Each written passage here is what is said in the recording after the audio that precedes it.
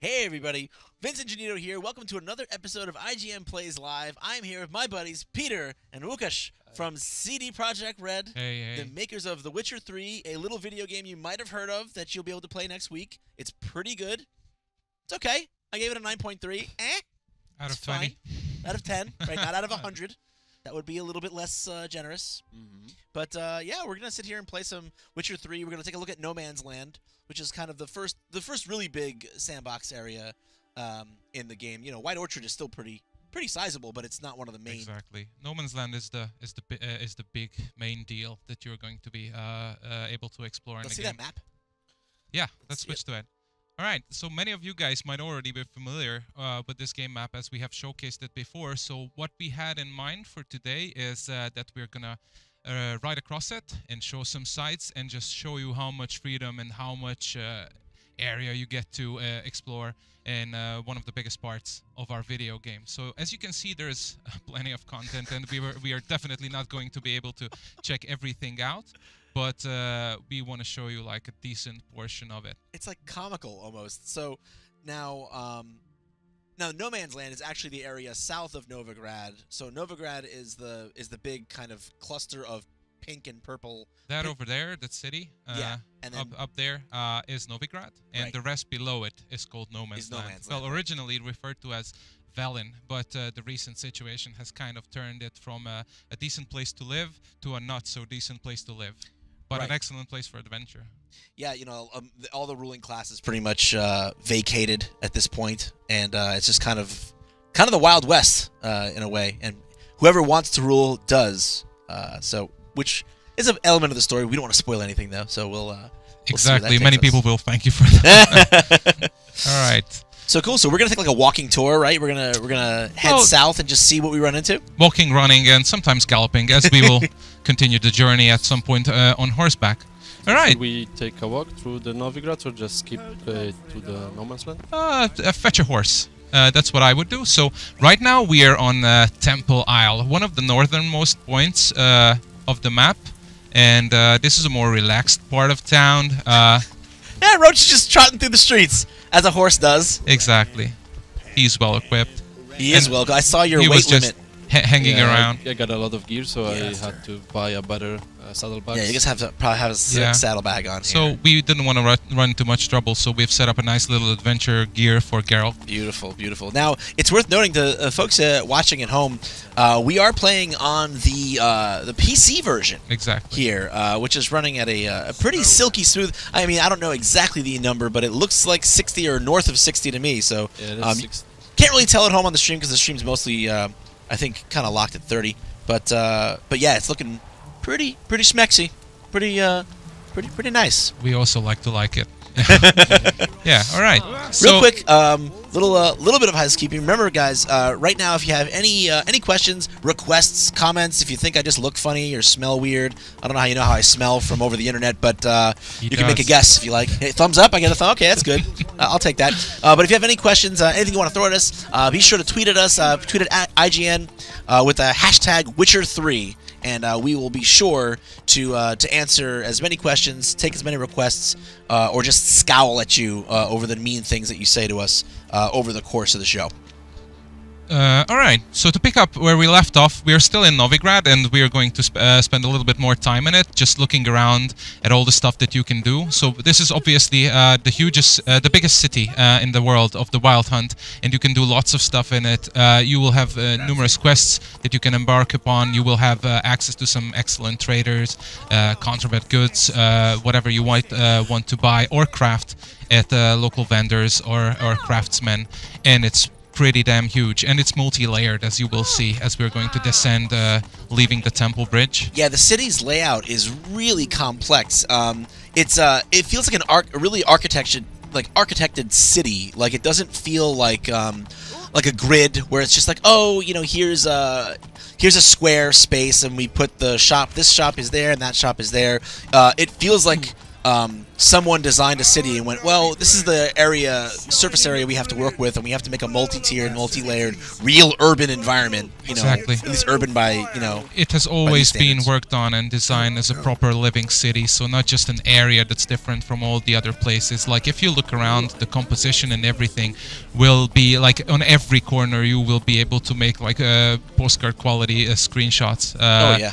Our, our team spent quite a lot of time uh, designing the layout and uh, most importantly i would like to mention uh, our god almighty lucian uh, who had like a tremendous amount of work invested into uh, the city looking great Yeah, and uh, certainly pulled it off. The city does look freaking gorgeous. Um, so we do have someone. Someone has let me know that I smell like Doritos. Can you guys confirm or deny the Dorito? i odor? have not had doritos yet but if this is what doritos smell like then yeah then, then you want Doritos. I appreciate that.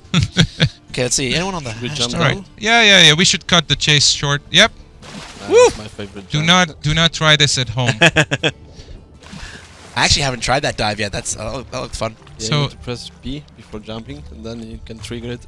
That's awesome. So we are in the favelas, just south of Novigrad. This is a little bit more, uh, not impoverished, but more uh, suburban area uh, under Novigrad. Uh, you will see uh, these are cloth painters over here, so that, that's why you have some fancy colors on the ground. Uh, and you will find all sorts of people here as well. Uh, uh, this is like uh, the area that has uh, all the supporting uh, crafts and professions that uh, support and supply uh, Novigrad with stuff. Uh, uh, the region is called Grassy Knoll, and it's a more pleasant, uh, untouched by war region of, of the game world. Yeah, again, and I'm going to be saying this a lot, and during this during this live stream, I feel, and that says a lot about the game. I mean, I played this game. I've now played this game about 120, 130 hours, maybe. I don't think I've seen that district, except maybe in a side quest, real quick, uh, where I had to pass through it, um, which I, I won't get into. But it's just amazing to me how much there still is that I haven't seen and have no conception of. I mean, so much of it is just like I had to pass here on the way there, but uh, th- so many of these places have have a story, even if it's not an actual story quest. Like th- they all have, um, there's all a lore to it, and there's something you pick up just from listening to the to the to the city folk and seeing what's around. And man, there's some beautiful, beautiful vistas here. Exactly. Like uh, weird as it might sound, uh, even I am going to act and uh, be genuinely surprised uh, by some sections of the world map because I'm supposed to uh, have visited and played through all of it. Yet there are unknown areas to me uh, that I will uh, be surprised to see. Let me ask you a real quick question, Peter, because uh, we got a pretty good question in here from uh, from Twitter from uh, Arkham Inmate twenty five. Uh, wants to know that if uh, the best gear uh, will it be crafted or if you earn it from quests. Uh, the best gear, uh, as far as I know, is uh, accessible through crafting. Yeah, that's what so, I've heard. so too. there's a real value to uh, what you're wearing. You cannot uh, just buy everything in shops. Like you will have access to some pretty decent gear from vendors, but the truly epic gear you will only be uh, be able to uh, wear if you craft it. It's more of about searching for receipts, fighting monsters that guard the receipts, and uh, exploring the world. So basically, if you find an awesome receipt and pay the time to, to do it, then you reward it with awesome gear, Witcher gear, which is uh, one of the best gear in the game.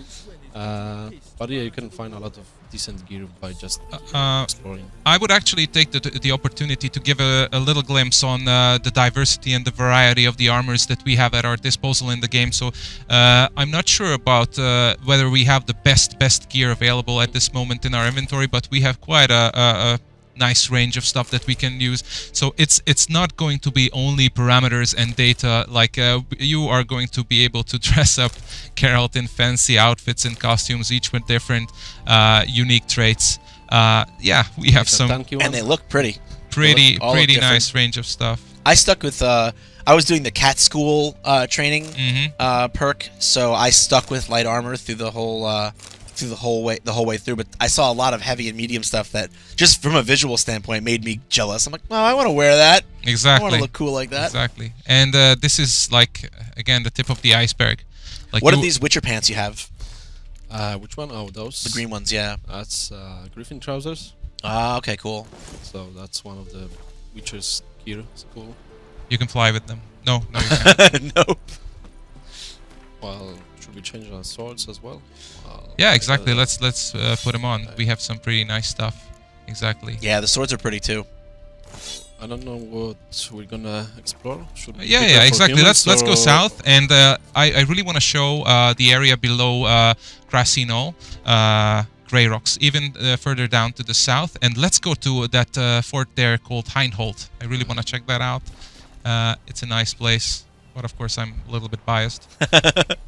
All right, yeah, let's let's uh, call Roach, and uh, let's uh, let's check out Grey Rocks. So this this was the the war zone where the two uh, armies uh, from the south and the north clashed and uh, ended up in a stalemate. So it's not going to look as nice as, for example, Novigrad and, uh, and Grassy Knoll uh, in the north. Uh, this is going to be a little bit more desolate, uh, closer to an actual war-ridden. As a lot of the game is, and that's one of the things I really like about it is that Novigrad. You know, when you look at Novigrad, I mean, right now in the daytime, a lot of the areas you guys went to just now, it looks fairly pretty. Um, but even there's a lot, even in Novigrad, uh, your first time in Novigrad. Whoa, what's Well, we get a quest. Yep, we stumbled upon. this? Yeah, let's see some what this is. Another one. Run along home with the rest. Sir, show some mercy. We've not got nowhere to go. For us, it's Novigrad or death. Had enough of you lot. Sod off, or I'll have you skewered. Oh hell no! What should we do? Let's be merciful. Vince? Yeah, I, to let them through. Yeah, Desperate. Let them through. There's See gonna be the some harm combat. Fucking hell. Oh, no times. Oh. guard, Redanian guard. This is no, he's not. Is he Redanian? Yeah, he's. to a pass. Would he Uh, be Redanian? I think so. Wow. 100 crowns. That's He a lot of that- money. He That's doesn't a know lot that it's money. a it's a family establishment. I- I'd go Like with uh, with our face value. Let him pass if you know what's good for you. Let him through before I get angry. You won't like Geralt when he's angry. Exactly. But I like those mittens. To me that way. oh no. We're done. Get him. Yeah, get him. All that's right. A, that's a great, great plan. It'll work out wonderful is for you. that I didn't put any skill points in any tree, so basically I'm gonna have to do different. Ah, you can totally do it. So yeah, th- this is something in the game. Uh, it, it does not scale to your skills. Uh, all, all of the challenges are, are master crafted, and uh, Łukasz had a, quite a bit of doing in it, right? Exactly. So even without the skills, if you're a good fighter like Łukasz here, you can champion through it. but you you will take a lot of practice. Yeah. He's not gonna get up from that. I don't think. That's gonna- That's gonna hurt in the morning. All right. So we've got good gear, but no skill points distributed. So that kind of sets us in the middle. Sure.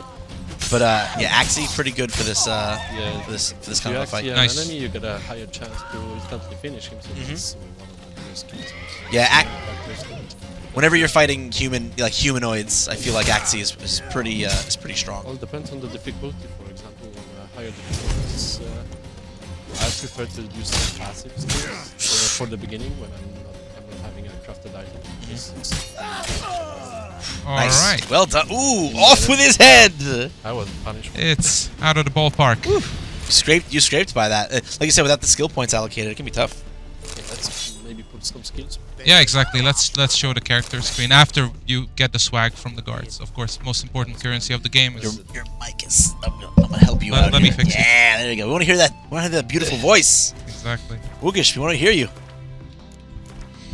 Okay. So yeah, let, I'll give you an opportunity. Yeah, let's go through the skill because I, I think the skill the skill system in this game is way way better than that's been in Witcher One and Two. It's a huge improvement, one of the biggest mechanical improvements in the game. So yeah, definitely walk walk us through it.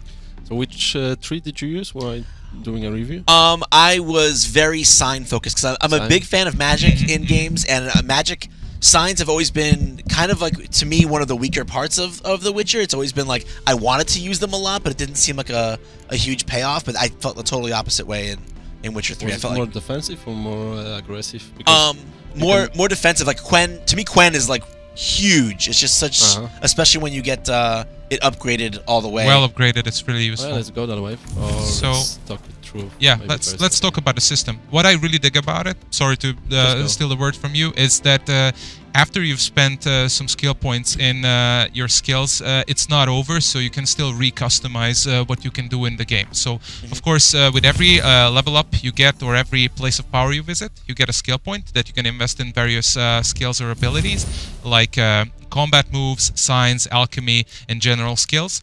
And uh, the things you end up with you can sort out uh, on the middle of the screen you can see some empty slots and you can have based on your level uh, several of them active and uh, this will give you an opportunity to cus- customize your uh, your character for the upcoming challenge because again preparation is still uh, an essential part of the game Right. and uh, the most important thing is that uh, you will get a lot of skill points throughout the game, but you cannot achieve a state where you're good in everything. You will you will get to a point where you're pretty good at something you, you wanted to focus your character on. Uh, so it's like a really important choice uh, uh, system, choice and consequence system to pay attention to to what uh, you invest your points into. Yeah, the slot system I feel like is really what handles that the most, right? Because it doesn't matter how many skills, it doesn't matter how many points you put into each of these skills and how powerful each of those skills become. You're only ever going to have uh, tw- uh, 12 total slots, At skills most, you can exactly. slot. So you can't, you know, even if you max out, I mean, I don't think you could, you couldn't do it mathematically, but even if you maxed out like 15 skills, which you can't, like even if you did, you can't even slot them all. So you have to Exactly. pick and that's, choose. that's part of the game and, and being prepared. For example, uh, you're building a melee uh, build, and then you need to think how, how to compensate the lack of stamina regeneration, which you get from a signs tree. Yeah. Uh, so there's there are synergies, for example, gear, uh, runes that you have to take in, into consideration. Plus, you have to find those items, you have to craft them. So it's besides that being complex, you have to think about other things as well, like There's- armors. and then there's the mutagens, right? Um, Exactly, and that, that and that give to me is extra the really to the huge thing Exactly. because now um, you know each mutagen has its own little bonus, like five percent attack power, 50 percent, uh, fifty extra vitality. Um, that's sign intensity for the blue ones.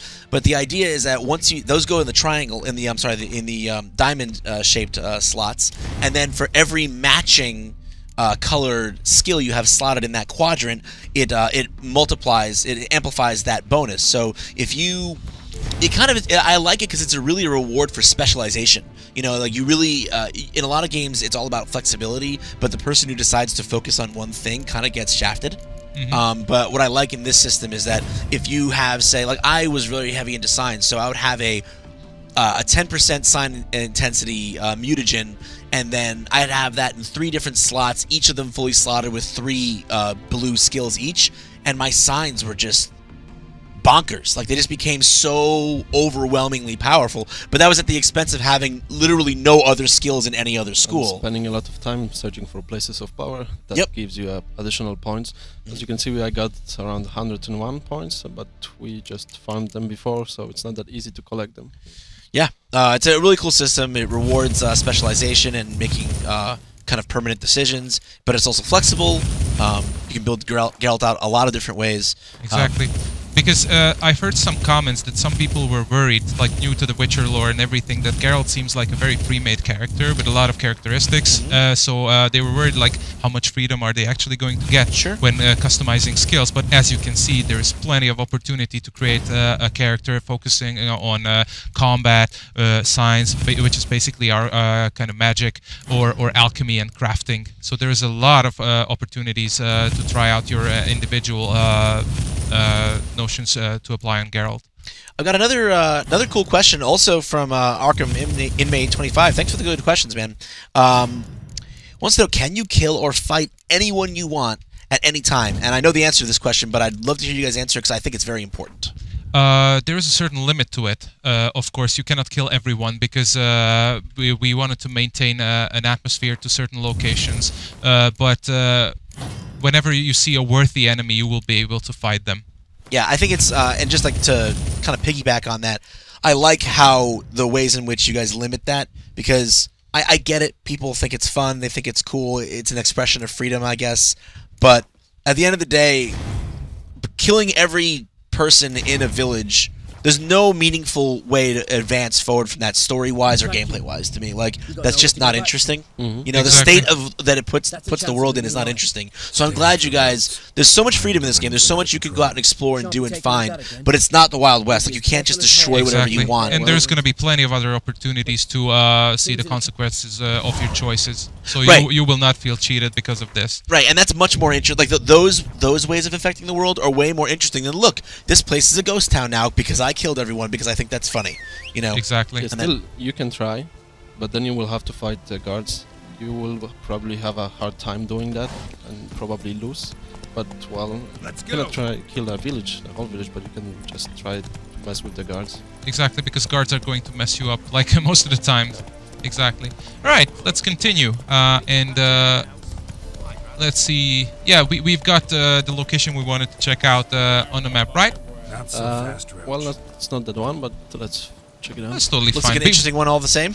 we can we can totally check this out as well, if you want to. Seems like a small outpost. No quest here. No, no, no. I, I don't think it's a it's a quest location. Or at least not now at this point in the story. It's not, Exactly. it might become one I think uh, later. what we want to check out is on the other shore. So yeah, let's uh, Yeah, try, swim there. try some swimming. I think the water looks gorgeous. I really dig how it looks. Oh, that's that's the thing exactly. On the other shore. Yeah, so uh, we have plenty of un, uh, underwater lo- locations Oh, yeah. uh, and uh, underwater exploration uh, for you to try. Uh, you will stumble upon uh, some uh, smuggler caches uh, every once in a while. Um, if you if you uh, explore so all sorts of explorations are rewarded and of course there are some uh, herbs that you can harvest and gather that only grow uh, here underwater. You might uh, remember the griffin fight and the preparations from other streams and other gameplay Yes. videos. Like uh, it was uh, part of the quest uh, to find buckthorn i think uh, it was called underwater. And uh, as you can see there are uh, several other kinds that you can find here. And there will be a lot of others that you will uh, only be able to find at uh, certain specific locations. So um, I have another uh, another good question here. Um, Just a sec. Ooh, sweet. oh boy, yeah. Yeah, this is one, Oh. of the one of the more special enemies. Yeah, I think she's gonna be pretty bad. Oh, she's level 18. Yeah, we can spend a little time explaining uh, what you can see in the interface and how it can help your uh, your adventure. Like a small bar above uh, the creature you see uh, contains uh, some bits of information. A green number you can see that is the character's, uh, I mean the enemy's level. Yep. And you can compare it to your level and uh, do the simple math. If it's higher than yours, you will have a hard time uh, defeating it. Uh, then the other bar, the most prominent one, which is currently silver, is the health bar. Uh, the color indicates uh, the kind of sword you need to use against them. Right. And uh, basically, the lower it is, the happier Geralt is. and uh, right under that, the little uh, plague yellow bar uh, is the, The stamina. the stamina, exactly. So if you bring that down, uh, they will have a hard time blocking or parrying your attacks. Oh. There's also a flashing uh, moment on a, on a health bar that indicates the time uh, open window for a counter attack that Geralt can do. Let's finish her off. Oh, she's dead. Nice. Yeah, water hags go down real easy to fire. Oh, shit. That was a nice fight. Let's take a swag. Always, always, never ignore them. All right, so we are at Grey Rocks, and if you take a look around, you will see that uh, Oh. I cannot finish a sentence without stumbling upon some quest or adventure, It's which so is hard. which is an awesome thing. Well, let's just go to, Yeah. the, to the ford. Yeah. So really don't want to spoil all the adventure for you guys. So if you're curious what the Dead Man has to offer quest-wise, you will need to buy the game and and read it yourselves. we are going to take a more casual, touristic approach. So while we're looking for this uh, for this uh, loot cache, um, yeah, the question that came in Oh yeah, sorry. from uh, from Deathwish. Thanks for thanks for watching. Um, wanted to know two things: what specs we're running this on, and uh, and uh, well, yeah, that's the first thing. So, what specs are we running this on right now? Is this is this medium? Is this ultra? Like, what is? It what, is ultra. We're on, we're on ultra. ultra here. Okay, so this is as theoretically this is as good as it gets. Exactly. Cool. And uh, if you're also wondering what kind of a rig we're running this on, um, we've got a, a GTX 980 Yeah. uh, under the hood, and Oh, actually, this is your own, you guys own rig, right? This isn't one of is this this isn't one of ours. This is Yeah, one of yours. No, no, no, it's ours. But it's the same thing. You guys have a GTX 980 and I, I assume a, a Core i7. Yes, Cool. Yeah. It's like, so uh, it's a pretty decent rig. Yep. So that's what we're that's what we're running on here. And uh, the other question was, uh, why did you guys feel uh, like adding a jump when when jump has not been part of the other Witcher games? because uh, most importantly we wanted to have an open world to give room to the amazing huge story that uh, we had uh, in mind and uh, having an open world kind of calls for a lot more exploration uh, a lot less gamey a lot more analog so, uh, so players can actually do what they want to do uh, and jumping is a vital part of that so we wanted to uh, make it uh, very very comfortable and immersive and uh, if uh, you apply a lot of uh, decent exploration to your adventures, I think that helps you kind of immerse yourself better in the game world. And uh, we experimented a lot with it, and I think it works nicely. Yeah, I mean, I, I really, really dig the additional verticality of the game uh, because exploration uh, like that is, is always a fun addition if, if done properly. And I think it's it's working nicely in The Witcher. It, Sure, it I agree, and- Complements the adventure. And I think another important thing that that shouldn't be underestimated is like when your character can't jump, it really constrains how you guys design the world, right? Like it, it becomes like you have to think to yourself, oh. If I want there to be some kind of verticality, I got to make sure there's a way for this character, for for Geralt to get up there from some route, and I feel like that that complicates it, it, it kind of abstracts how you have to design the levels because then you can't make it look natural or look like a, Exactly. a normal uh, like, like, like a map like that or a situation Exactly, like that you have to would. design slopes everywhere, and it doesn't Yeah. look as natural. And the natural visuals and natural uh, uh, composition and uh, location design has always been a vital part in uh, designing the locations for The Witcher. Like uh, you will see that uh, basically how we did it is uh, created a very natural environment, like all the hills, uh, all the terrain, and then uh, applied all the uh, villages, locations, points of interest, caves, and everything to it as it feels natural and uh, how it's convenient, how it eases into uh, the landscape. Sure, absolutely. Every single location has been designed like that. And uh, yeah, basically, if you wouldn't have exploration, you would have to force a lot of gamey solutions to the level, and it really wouldn't feel nice. Like uh, we have tried many things, we have tried that as well, given ease of access without uh, jumping uh, uh, or or massive exploration uh, to to to places, and it doesn't feel natural. It's not good. So Łukasz has decided. He's made this. He's made a very, very big move here. He's like, you know what? This is just too easy. I'm too good. I'm too good at this video game. Yeah, I played a lot. I played a lot. So, so to make things a little bit more interesting for you folks at home, Łukasz has moved us up to the next difficulty level, um, from where, from where, uh, from where you guys were. He also likes to live life dangerously. Hey, you're a Witcher. You got to live a little dangerously. So, um, before we jump uh, back in and see more what's going on here, um, let me just uh, quick plug. You guys are watching IGN Plays live right now. Uh, we're doing The Witcher 3 at the moment, but we've got a lot of other uh, stuff coming up this week and later today. Uh, so let me run that down for you. Uh, right after this stream at 3 o'clock uh, will be a live edition of Podcast Beyond.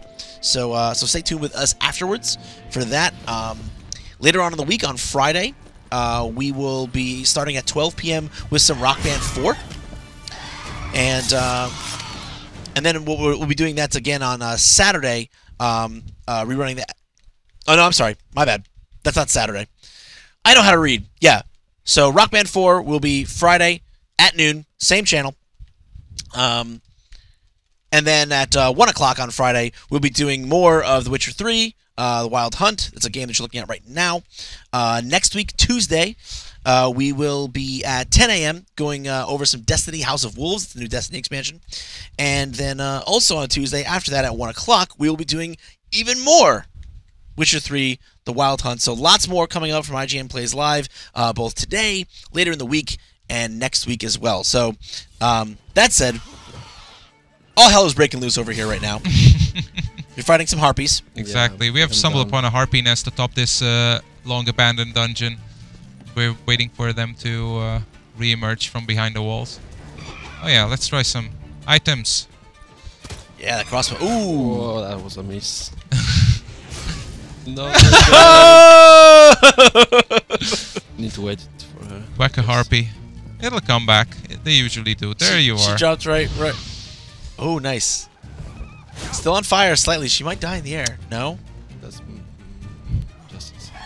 One of my favorite things was uh, hitting them with Aard as they came swooping in, and then watching them spiral down to the ground. Yeah, yeah, I love them. Where is she? You totally missed that. I know. okay, let's Like you should have seen Lukas the other day. He kills like uh, cats, dogs, and goats with such ease when just strolling on the back paths of the land. Where is she? Oh, there's another one. another one. All right. Well, there's a nest here, go. right? There you go. Nasty, nasty. Nice. Done.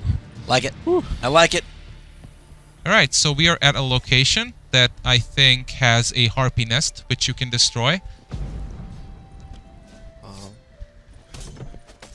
I think it's uh, it's on the outside. Yeah, yeah, yeah I know swag. swag, swag. I know swag.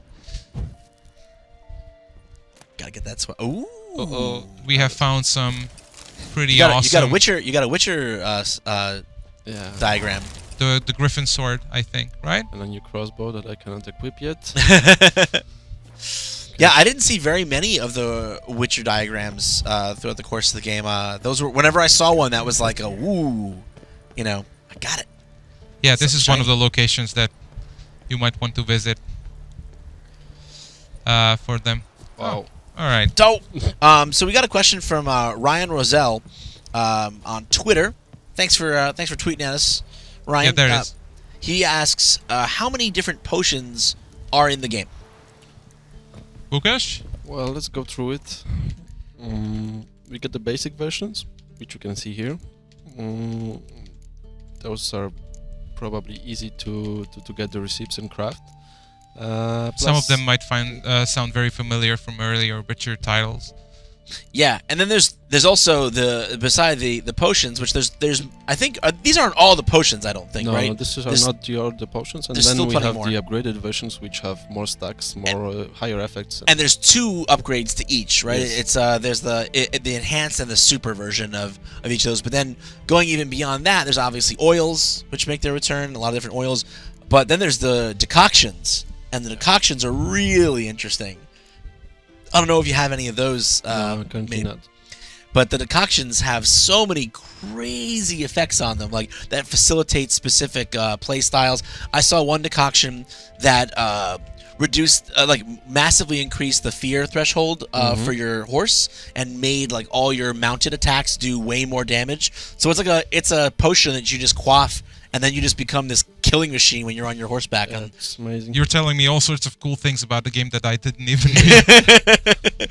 Yeah, so like I, the decoctions, I think add a whole lot uh, to the potion game. But the thing with the decoctions is that they're very powerful. So because they're so powerful and they last for like 10, 20 minutes at a time, a lot of them, their their toxicity is like 80 or 100. Like you Yeah. need if you if you drink that potion, you're not going to be drinking Swallow. Yeah, it's a good synergy with alchemy build. Uh, Right.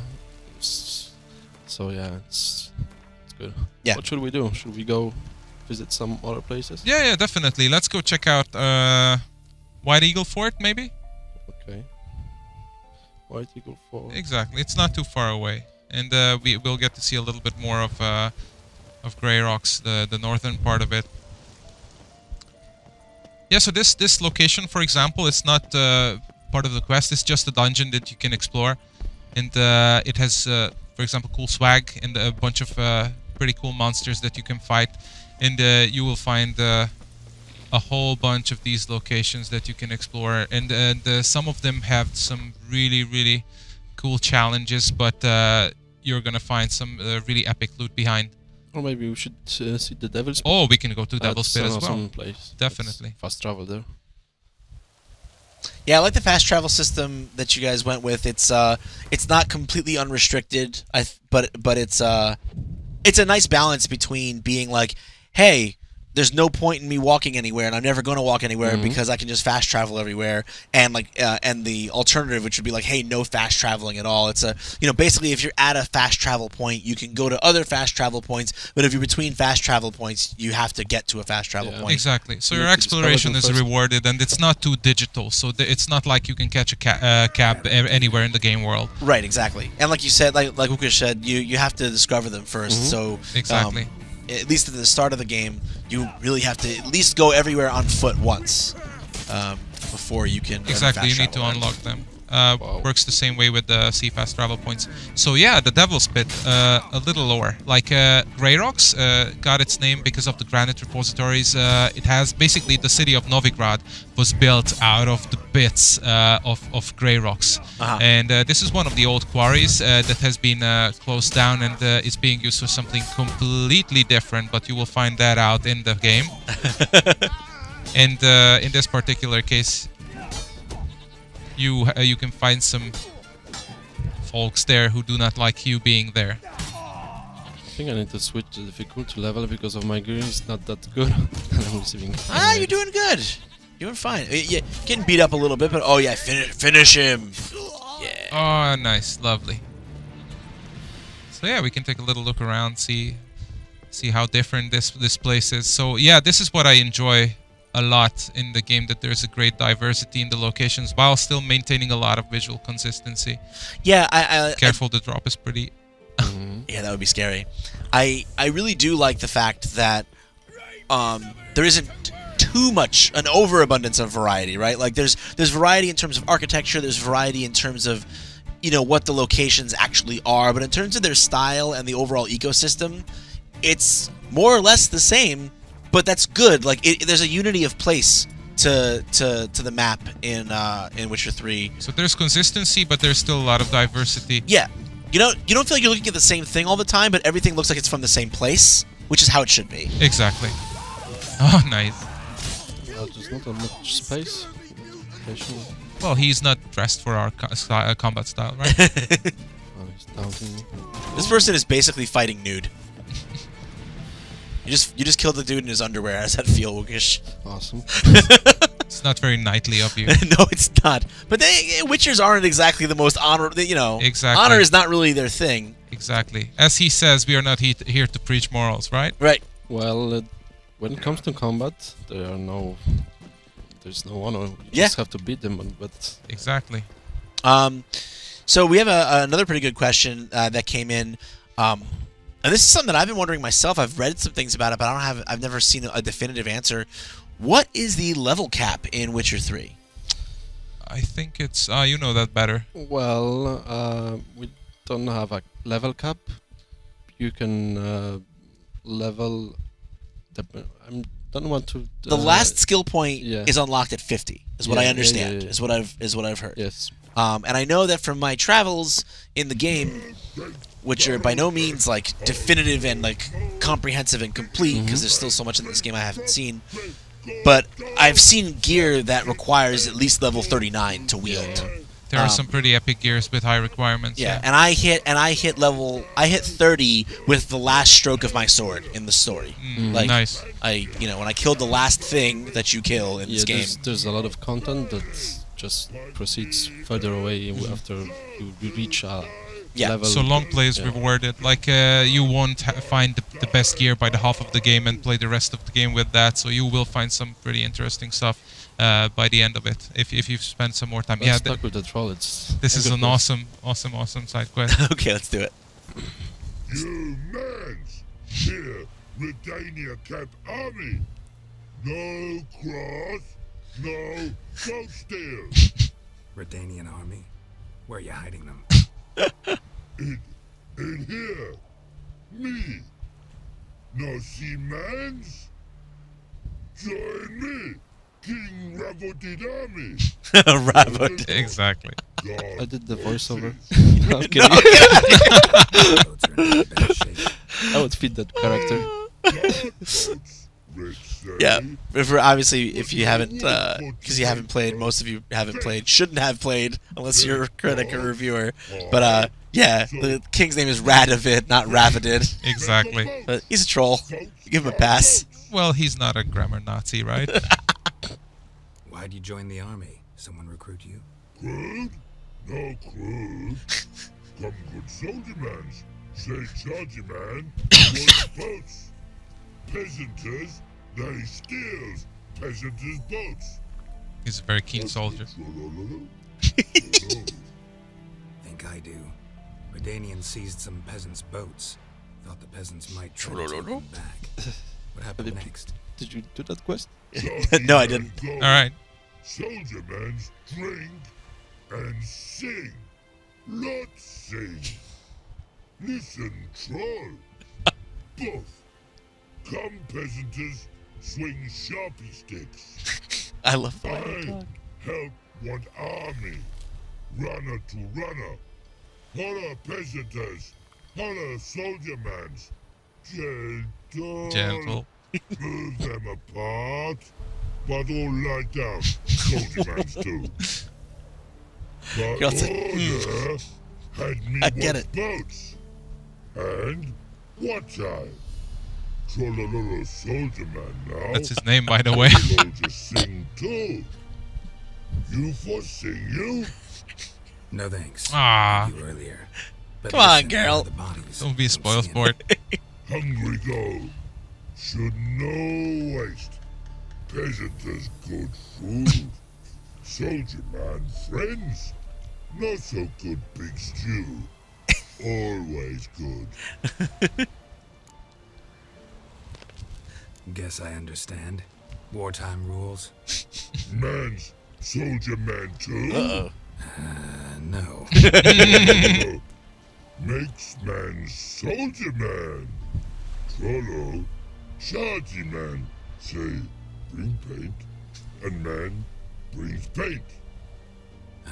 Paint? What are we talking about? Geralt, I love how Geralt is like so embattled and flustered in this game. Like he's like, guys, I just have someone to find. Like I, I don't have time for this right now. Exactly. After having killed a bunch of creatures and all sorts of enemies, you end up in this conversation. Yeah, you're like, what? Fine. I'll try to find some paint for you. Good mans. Redani army. No service forget. So, let's. And achieved and murdered. It can never get to go. Love this bit. Now, in the army, close to you. In the all. Your boy now in That's too much. I think that's enough I want the MP3. Um, as a ringtone. love it. Um, so we do have a request. Uh, once we, uh, we do this quest, do do do our thing, but uh, someone, uh, some people want to see Gwent. Wow. Some Uh, Gwent, we we didn't really want to do right now uh, because it takes a lot of time to get into it, Yeah. and I think more people, like uh, judging by the feedback we got earlier, would be looking forward more to the action for for Okay. open world exploration. So, unfortunately, we'll have to disappoint this one Ah, fan. okay. Learning the basics is takes time and Exactly. you have Sure, to go through everything. Yeah, this Well- is something we actually wanted to talk about. Like, uh, our mini games are not mini games per se, just to for the sake of having mini games in the game. Like, Gwent is a full-fledged, uh, awesome sub game in the whole game, uh, totally part of the whole lore. Uh, plus, uh, you can ga- uh, gather a lot of uh, game cards. I think 140 game cards throughout the game world, so it nicely ties in with the rest of the adventure. Gwent- It's a very, very cool thing, but it takes a lot of time. Yeah, Gwent Gwent is uh, is pretty darn good. Um, yeah, you guys definitely took a instead of like a bunch of little like shallow mini games, you definitely took the let's make one big mini game that kind of uh, spans the world and kind of connects everything. I don't and, uh, even think it's fair to call it a mini game anymore. Yeah, Yeah, it's yeah, not yeah. in the same way that like you couldn't really call like Blitzball a mini game in Final Fantasy X or you know Triple Triad a mini game. Like those were those were just games that were within a game, and Gwent definitely feels that way. Um, but uh, no Gwent today. But uh, But you can surely try it out in a full game. I, Oh, yeah. I, I know that sounds bad, but still. no, and I'm, I'm actually planning a, a feature on Gwent. I actually That's really awesome. like Gwent, so I'm, I'm going to be doing a feature just about Gwent and my thoughts on Gwent. so now we are closing in on Oxenfurt. This is uh, where King Radovid the Stern resides with his uh, part of the army, and it's uh, not easy to access. No passage. Case of the plague surface in the city or something? The plague? Uh, no. We're to not let folk in the city. It's an order, so I don't, unless someone's got a pass. What kind of pass are we talking about? Well, a normal one. A transit pass. Who issues them? How should I know? I'm a lowly soldier. Self-awareness. You're talking to the you're talking to the messenger. Like, Farewell. All right. So, Łukasz, do you know any way to get around this gate? Yeah, we can take a shortcut. I Alright. A I, shortcut. I highly encourage you to take the shortcut. Is this a, a shortcut of the legal variety? Oh, nice. It's it's a shortcut of a very dangerous variety.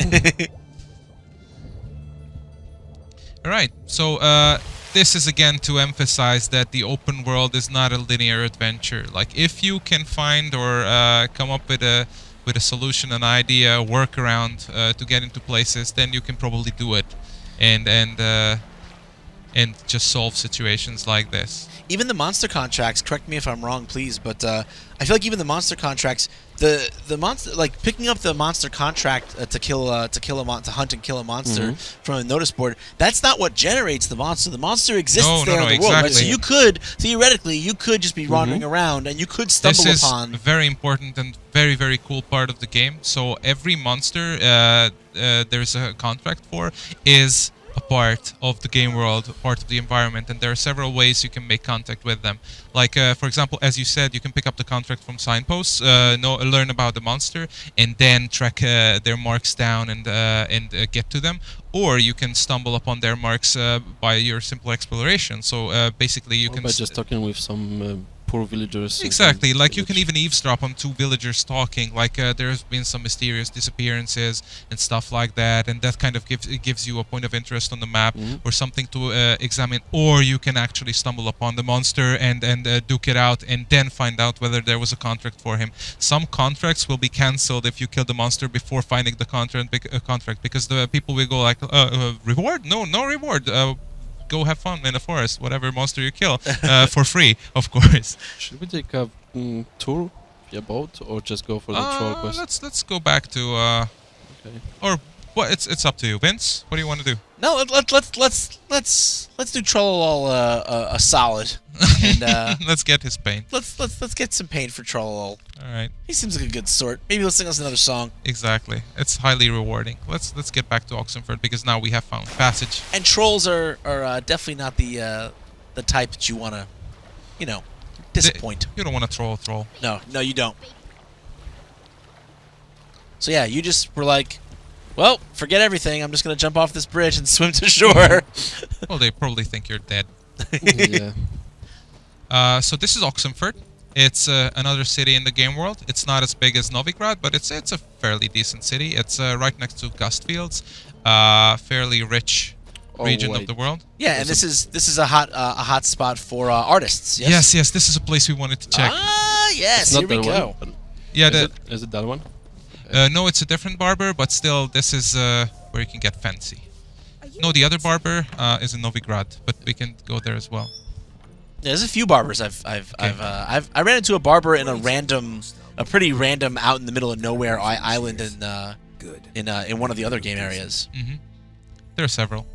So Real-time beard Yep. in action. which is awesome. And actually, um, correct me if I'm wrong, but whether or not you let that beard grow out will impact some uh, some conversations that you have later in the game. I don't know if you know the ones I'm talking about specifically. I don't want to get spoilery. Uh, let's not get into that. Yeah, Okay. into details. Okay, well, Oh, you're a completely different person, Geralt. I'll say, you know, I will, I, what I'll say is someone noticed that I that I let myself my, my hair grow out, and uh, yeah, worked out in my favor. Just gonna say that So long. it's a neat detail. Ah, looks awesome. All right, Yeah. That's my favorite. you're you're fabulous yeah. I need to change armor. Some because it doesn't go well with your current Yeah, hairstyle, of course. My hairstyle. So uh, back to Twitter for a second. Uh, Janet Kowalska, uh, thanks so much for watching, Janet. Um, uh, throws to us wants to know after the story, can I still play in the open world? And I can answer that one. I know, of course, that you uh, you can. Uh, after you defeat the uh, the final challenge, uh, the game will kind of bring you back. It'll reinstate the world state uh, from right before that fight and just put you out in the um, in the open world, but without access to story quests. So you will no longer be able to do anything that's story related. Um, it does not mean you cannot affect the world. There are still there are still side Many quests many locations. and many locations where you can change uh, the world and, and see the results of your decisions um, on the lives of the people of uh, of the land. But Plus, as you have mentioned earlier, by the time you finish the story, you probably have not maxed out your character yet, and Right. uh, you have you still have a lot of room for development and a lot of other challenges that you can find in the game world that you can prepare for and explore. This is uh, another mm feature. For example, if you encounter a shopkeeper Uh-huh. who's specialized in some uh, some part of uh, well, some some form of commerce that they are yes, focused yes, on. you cannot sell them items, every items you want, Right. Because a guy who's a herbalist doesn't want your swords uh, or your bombs. So Vegetarian Uh, herbalists will not be interested in your meat products. Yeah, yeah. Sure, and, and what that's that's important part of economy. It is because something that I found early. First of all, something I really appreciate about the game, and this is even on normal difficulty, not even on hard difficulty, which I, I can't wait to dig into uh, more. But uh, even on normal difficulty, I found that early in the game I was broke all the time, and I love that because um, RPG in most RPGs, honestly, you reach a point very quickly where you're just so rich that money doesn't even matter anymore. Exactly. And you just don't care about where you earn it or how you earn it. It's just always there when you need it, and that was not the case for like you'll reach a I, I, you'll reach a point in the game where you'll get a pretty nice payday. Again, don't want to be spoilery, don't want to say what that is, but you get a pretty decent payday, and that will kind of fish you out of whatever hole you might feel like you're in at that point. point, and kind of set you up pretty well for the rest uh, for the rest of the game. But even then, you can't be reckless with it with your money. Like you always have to be careful about you know how much wear and tear you're putting on your equipment and, and spending money to repair it and and buying uh, and buying and selling things is always really important. Like the the pelts that you get, um, the pelts are some of the best selling items in the game, but there's so few vendors that will actually purchase them. So if Yep. you find a vendor that'll buy a wolf pelt, buy a bear pelt, buy a horse hide off of you, Then you can get rid of them from your inventory, You can- but still their money repository is limited, so you cannot just spam the pelts on everyone. Exactly, that's the thing too. Is that even if you find a, a, a vendor that, that does buy and sell that stuff, if they only have a couple of hundred crowns in the bank, they can probably only buy so many off of you. So it's uh, it's interesting. The the economic model is actually surprisingly, uh, uh, it's refreshingly kind of stingy and realistic, where you have to. And you can kind no of make a living if you want to. Like if you want a few extra crowns or whatever, if you pay attention to the prices in the different regions, you can actually uh, benefit from the situation. Yes. Like uh, buy cheap, sell uh, sell expensive. Right. And uh, yeah, this is something our game designers put a lot of effort into. So everything you have in the game uh, has value. So there's no real junk. You will find junk items, of course, uh, but even they have value. Yeah, and still you can uh, Dis- dismantle. dismantle them and make them into Exactly, in- ingredients. Yeah, Yep. nuts. and raw materials. All right, follow. Private Snake, report on order. Just so happens I have some paint on me. Oh! Oh! oh! Uh-oh. What's the matter? Has paid, but how? Dunno. No skills. General trait of any troll. Man's how no. I order. Man no. yes, Geralt. please give give the troll painting lessons. Depends what? Birdo Connery. Redania Birdo. Shields life. Let's do it. Let's Do it. Let's totally do do it. it. Guess I can give it a Geralt's shot. got Got a brush? Pretty Birdo. Beautiful. That's my next tattoo right there. Man's good. Not like other men take use. He likes this. Good stuff. You see the paint? Yeah, exactly. It's there. I think it's wonderful. So there you go. Your choices change the world, folks. Exactly. Another day, another huge difference Geralt made. Saving the world. Exactly. One troll at a time. That's terrific. So, so uh, let's stop for a second and look at the map. I Oh, want yeah. to see how far from our starting point have we have we actually managed to venture. So yeah, we actually didn't cover as much distance as we wanted to, but I think it's And we also fine. fast tra- we also- also yeah. fast traveled. Exactly. You cheated, Lucas. You Yeah, cheated. to make it good. So in the past two hours, uh, we have done uh, distance between that point that uh, Łukasz just highlighted now and uh, that point. Yeah, it's been we, we've been on for about an hour, but uh, still, that's uh, that's there's still so much more to go, and so much we passed along the way. Yeah. Exactly.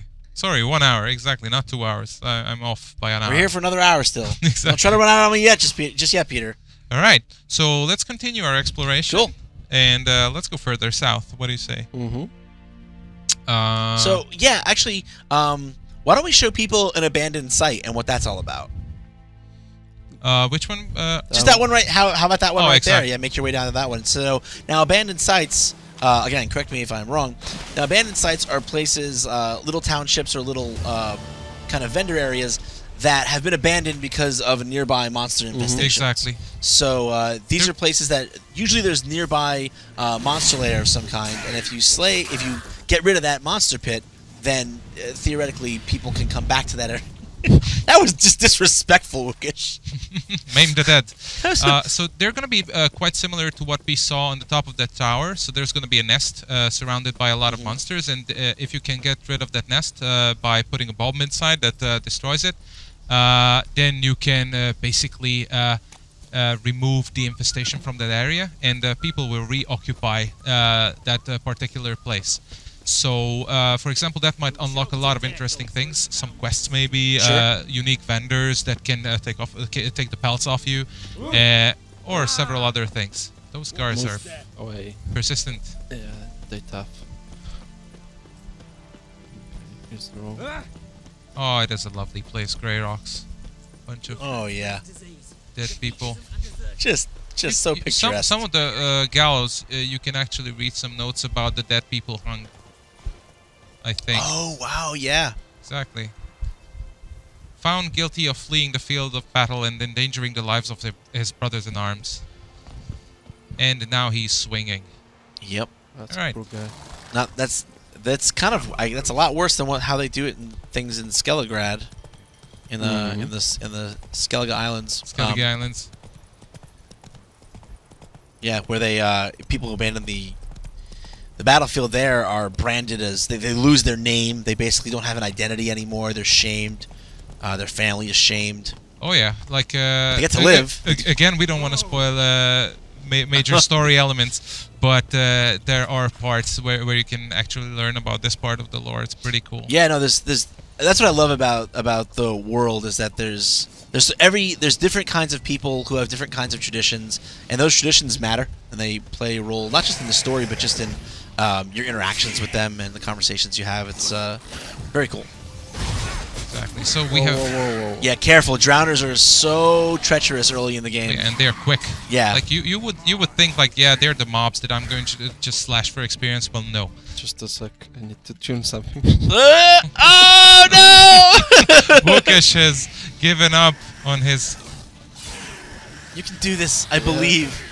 I Oh believe. oh Lucas, I believe. oh. Uh, I'm Yeah, really Igni is really everything. rooting for Igni you. is everything against these guys. Oh, fire beats water. Yep. Careful. Igni. Yep. Yep. Just let him die. we need to make a save file. You can do it. You can do it. Yes. Oh, sweet, sweet victory. Woo. And uh, this is your reward. People come back. Awesome. And now some of these vendors, they might have a quest for you. Mhm. Um, they might uh, they might sell you rare items. They might have things um, like di- you know recipes, diagrams that you might not be able to get anywhere else. And else. they will repopulate the area. For example, yeah, this is a merchant. Wouldn't mind a look at your stock. So cool. she He's said, got some. He's got some Runes. runes for. Uh, oh, a greater a greater rune. That's nice. Let's buy some chicken. Yeah. Why not? Yeah. You need to. You need to eat. You need to get your health up. Conan's favorite. That's on the sandwich. Oh, yeah, exactly. Chicken. Oh, yeah. Chicken. Chicken is good. Like storing uh, food as a, a food item as your secondary quick slot item is very very useful because uh, they will uh, initiate like a uh, a regeneration uh, for you uh, for you, so it replenishes your health uh, slowly but steadily for a Yeah, short uh, amount of time. Especially important on, when playing on a harder difficulties where you don't have uh, re- health regeneration during meditation. Exactly. So you need to cover that. Yeah, and I and I actually like that. Like it's um, it's nice, I guess, for the lower difficulty levels for people to be able to meditate uh, and just get their health back. But it is it is really nice to not have that uh, as a as an option, only because it starts to make so many of the other resources in the game actually you know matter a lot more, and I, I prefer that. I like that. so uh, if we want to go to continue our uh, exploration, we can actually go further down to the south. There's still a lot of distance to be covered. There's a huge mountain over there uh, right next to that island called the Simpa. And uh, there are all sorts of monsters there that we can check. And I remember some caves that we can check out, which Ooh, because okay. we haven't been to, uh, yeah, for example, like that. Um, or we can uh, go to the east and uh, check out uh, the different locations. I, I know uh, some pretty awesome uh, spots that we can show without spoiling anything major. So, uh, cave or, or seaside? Uh, cave. All right, Let's, let's go, go. south towards the cave. Let's go for the cave. Uh, we can go for a fast travel spot, uh, or we can just go there. Go manually. Yeah. Yeah, exactly. Let's show the people the world. That's part. Of, yeah, that's part of the fun of, uh, of of this game is just getting lost in the in the open world and seeing what you see as you go. Yeah.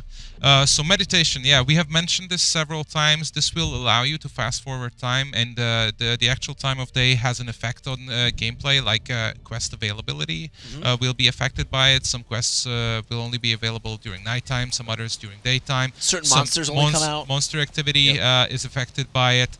Uh, also, you can uh, just uh, trigger some awesome weather effects uh, or environmental uh, things like the night is freaking beautiful. I absolutely love it. Yeah, you guys have a full daytime nighttime cycle. Exactly. Um, every minute takes about like five six seconds to pass or so. It's it, it is that I've. I have not measured it, but yeah, That's it's, about. I, I count. I measured it once, and it was. It's about. It's about five or it's six. not seconds. actual 24 hours a Right, day. but it's still pretty. You know, it's still pretty sizable.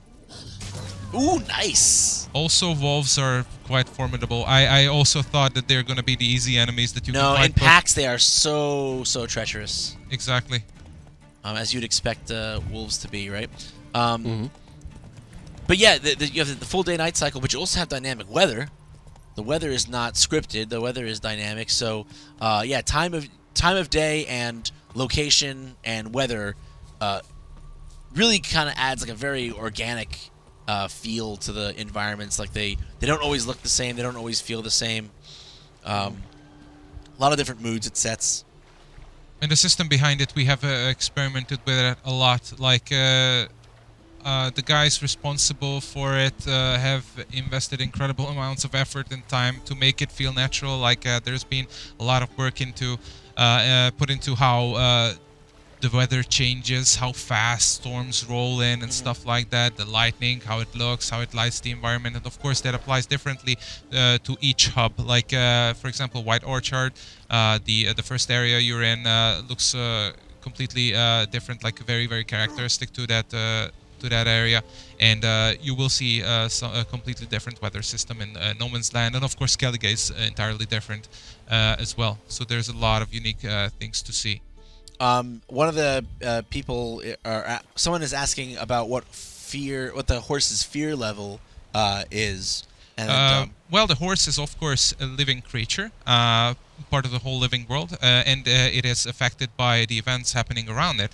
So if there's combat going around the horse, for example, then it might start to panic. That you can find uh, in uh, different ways. Like you can abandon, disengage combat, uh, wait until she uh, calms down, and then get back to the combat, or get off the horse before they panic and throw you off, or use Axii. Uh, because uh, if you sit on horseback, uh, you can uh, use your Axii skill, that is basically a charm, to calm down the horse, and uh, they will be able to persist longer in a combat situation. So it, it, it is another layer of the gameplay that you need to pay attention to. Plus, Also- got some items. right there's a there's a there's some of your, one of your pieces of horse equipment, the Exactly. blinders, uh, increase the the the fear threshold, so uh, the the horse can stay in combat longer. And as I mentioned, I'm, I'm sure I don't know if it's the only thing out like that in the game. There is a, a decoction that you can drink that will um, make it impossible for the horse to ever. Uh, it basically makes the horse fearless for all intents and purposes, and uh, increases the damage of all of your mounted attacks. So Exactly. there's uh, like mounted combat is actually like Pretty satisfying. yeah, it's pretty satis- It's very satisfying feeling, and actually quite viable if you have the right equipment for your horse and if you have uh, the right potion. Especially if you uh, like uh, get a feeling for the swings you do from horseback. I really dig that when you time your swings well and then you decapitate people. Uh, it just feels good. Well, you had that slow mo effect going Mhm. uh, before. Yeah. Now, how did you trigger that? Uh, if you p- push a button and hold it, then it's uh, slow motion. But if you tap it, then you have a single hit without Gotcha. slow motion. Exactly. Yeah, so you can. Uh, that allows you to be a little bit more precise about uh, I think we should. Really like our caves because they feel really, really organic. So uh, Maybe s- quaff some cat. hmm you can do that, or we can uh, use a torch if you have some. I don't have a torch. Yeah, Okay. but you have some cat. I saw you had But we definitely have yeah, cat.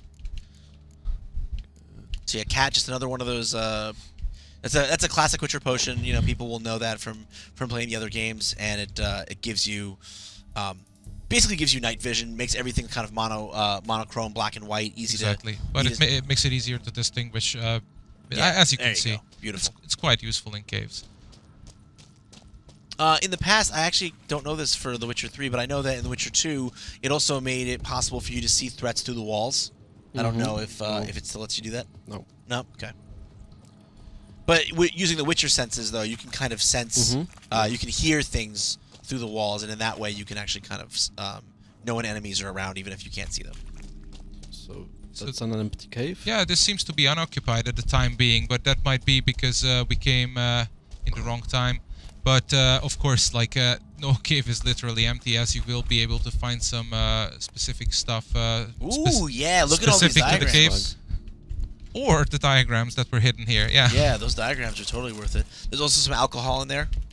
Which is a very very useful part Oh. of the game because. Uh, as we mentioned many times before, you have a lot of potions at your disposal, and how you replenish them.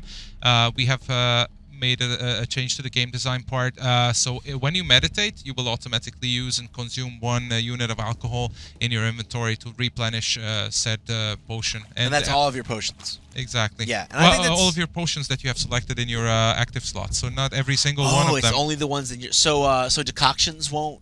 Um, Uh, I believe I believe actively set uh, potions that you have set uh, in your quick slots. So, Okay. uh, for example, if you have unlocked many many potions by uh, completing their recipes and uh, assembling them, uh, that would be very very wasteful if uh, each meditation would consume all the alcohol in your inventory to replenish Sure, them. of course. So you can be. Uh, uh, you can prepare for what you want to replenish by uh, selecting them and uh, putting them in your active slots. So, uh, what would you say was the kind of the impetus behind that? Because, um, you know, obviously it's a big departure from the way The Witcher has been in the past, where before you crafted a potion, that was it. You have this one potion, and you use it, and then it's done. Exactly. And then before you can use it again, you need to be able to craft another one. Um, now it's like uh, once you craft it once, once you complete the recipe once, it's just a matter of having any any uh, strong alcohol, which is like Dwarven Spirit, Alkahest. all sorts of Um, uh, wines that you find uh, in all sorts of places. Most Right. importantly, we wanted to keep the challenge part of uh, and and the rewarding feeling of uh, being able to uh, get all the ingredients and Mm. assemble the item, which is never uh, never very easy. But after that, it's it's uh, sort of a nuisance if you have to gather all of those ingredients again and again and again. Sure. So so maintenance has been more accessible and casual, but the actual assembly has been made a little bit harder. And I think that's a perfect balance uh, between having to do something and being comfortable with what you have to do. Sure, uh, it's a quality. To me, I see it as a quality of life upgrade. You know, Mm-hmm. and and it also allows, uh, in another way, it allow it frees you guys up design wise to challenge the player a little bit more, right? If if um, if you know that the player can make free, mu much more free use of their potions, then that means you can make you can make encounters that much more challenging. Exactly. So there's a certain uh, hardness and challenging uh, challenge to uh, uh, how, how should I say it like uh, preparation for combat. Like not many video games. I don't I don't know of like too many video games who have this uh, this atmosphere, this uh, this spirit in, in the game. So you have to think ahead. And uh, we wanted all of our features to be compatible with that uh, aspect. So uh, there's a lot of information you can gather about monsters, enemies, and such. And there's a lot of uh, game gameplay features supporting this. And it's a fun way uh, to to kind of uh, pre-measure your strength. And all the things you have to do in order uh, to prepare well for an upcoming battle should be challenging but still very accessible. And on that on that note, um, with preparation, so it, the design decision was made in Witcher 2 that in order to drink a potion, you would need to sit down and meditate, pick the potions you wanted to drink, and then go through the meditation process. And this was something you could not do in combat or with enemies anywhere in your vicinity. Um, some people really love that decision because they felt like it was in keeping with the Witcher lore. It really is all about predicting what you're going to be up against and preparing. But other people felt that it was a frustrating change from Witcher 1 where you could quaff potions in combat. It was risky in Witcher 1 to do that, but you could do it. Um, you guys have gone back to the uh, we can you, you can drink potions mid combat now. Um, my theory on that was that when you've got this big wide open world and you can literally just be anywhere constantly, you can be going from one uh, set of enemies to the next, to the next, to the next, and you don't know what you're gonna, you know, what you're gonna run into in the open world. It could be anything, anywhere. I feel like in that kind of an environment, preparing in the way you did in Witcher 2 would have been almost impossible, right? You, would be stopping every few steps. Yeah, there's be an entirely different pacing Yeah, to the open world exactly. exploration and the and the distance and the time amount of time spent between combat, which is completely up to the player. Like in Witcher 2, it was much more controlled, I would say. Yeah, of course. Uh, while not being a completely linear experience, it was much more con- uh, controlled uh, from the game design side, right? Sure. But this adventure is completely up to your decisions, your rhythm, how you want to progress. If you want to uh, sidetrack, explore, climb, fight, whatever. So whatever you have to do, meanwhile, to to ma- uh, for maintenance, let's say that, uh, has to be a little bit more snappy, a little bit more accessible, so Right. it does not hinder uh, anything you do. It still requires certain time, certain uh, effort, but it's uh, it's it's very comfortable, but not uh, comfortable to make it gamey. Yeah, and at the end of the day, um, you've got this. You go through the the trouble of creating a game system like Alchemy, right? The worst thing is when people don't engage with it, right? Because they feel like it's either inconvenient to engage with, or where they feel like the resources are so scant to to, to engage with it that they only want to do it when they really know they 100% need it. And then you know what happens? They just forget about it. It becomes something they don't use. And um, that's how I felt mostly. I mean, I loved The Witcher 2, but that's how I felt almost entirely through The Witcher 2. Is that I just forgot that alchemy. I almost totally forgot that alchemy existed, um, except for the really, really big key fights. Here, I felt like I was constantly experimenting with different potions and um, using it on a regular basis, and I felt like uh, alchemy was a worthwhile uh, skill tree to explore because um, they were that usable. Uh, it didn't make the game easy. It didn't make alchemy less uh, deep. It just uh, it just made it something that felt more valuable to use and more usable. And uh, hey, you did a lot of work to make the system. You might as well make it uh, make it something that everyone can can use on a regular basis. The Exactly. preparation is was kind of shifted also to, to the builds because you have to prepare and you have to choose Right. the right build and for the right encounter. So Mhm. basically, that's also okay. What's going on? Yeah, exactly. This is a village, and we have stumbled upon a a situation. Ooh, I see a few. Ah, exactly. Geralt. Than a hunk of lard you are. He means We're common folk. You're the mutant, the poxy freak. Get him, lads!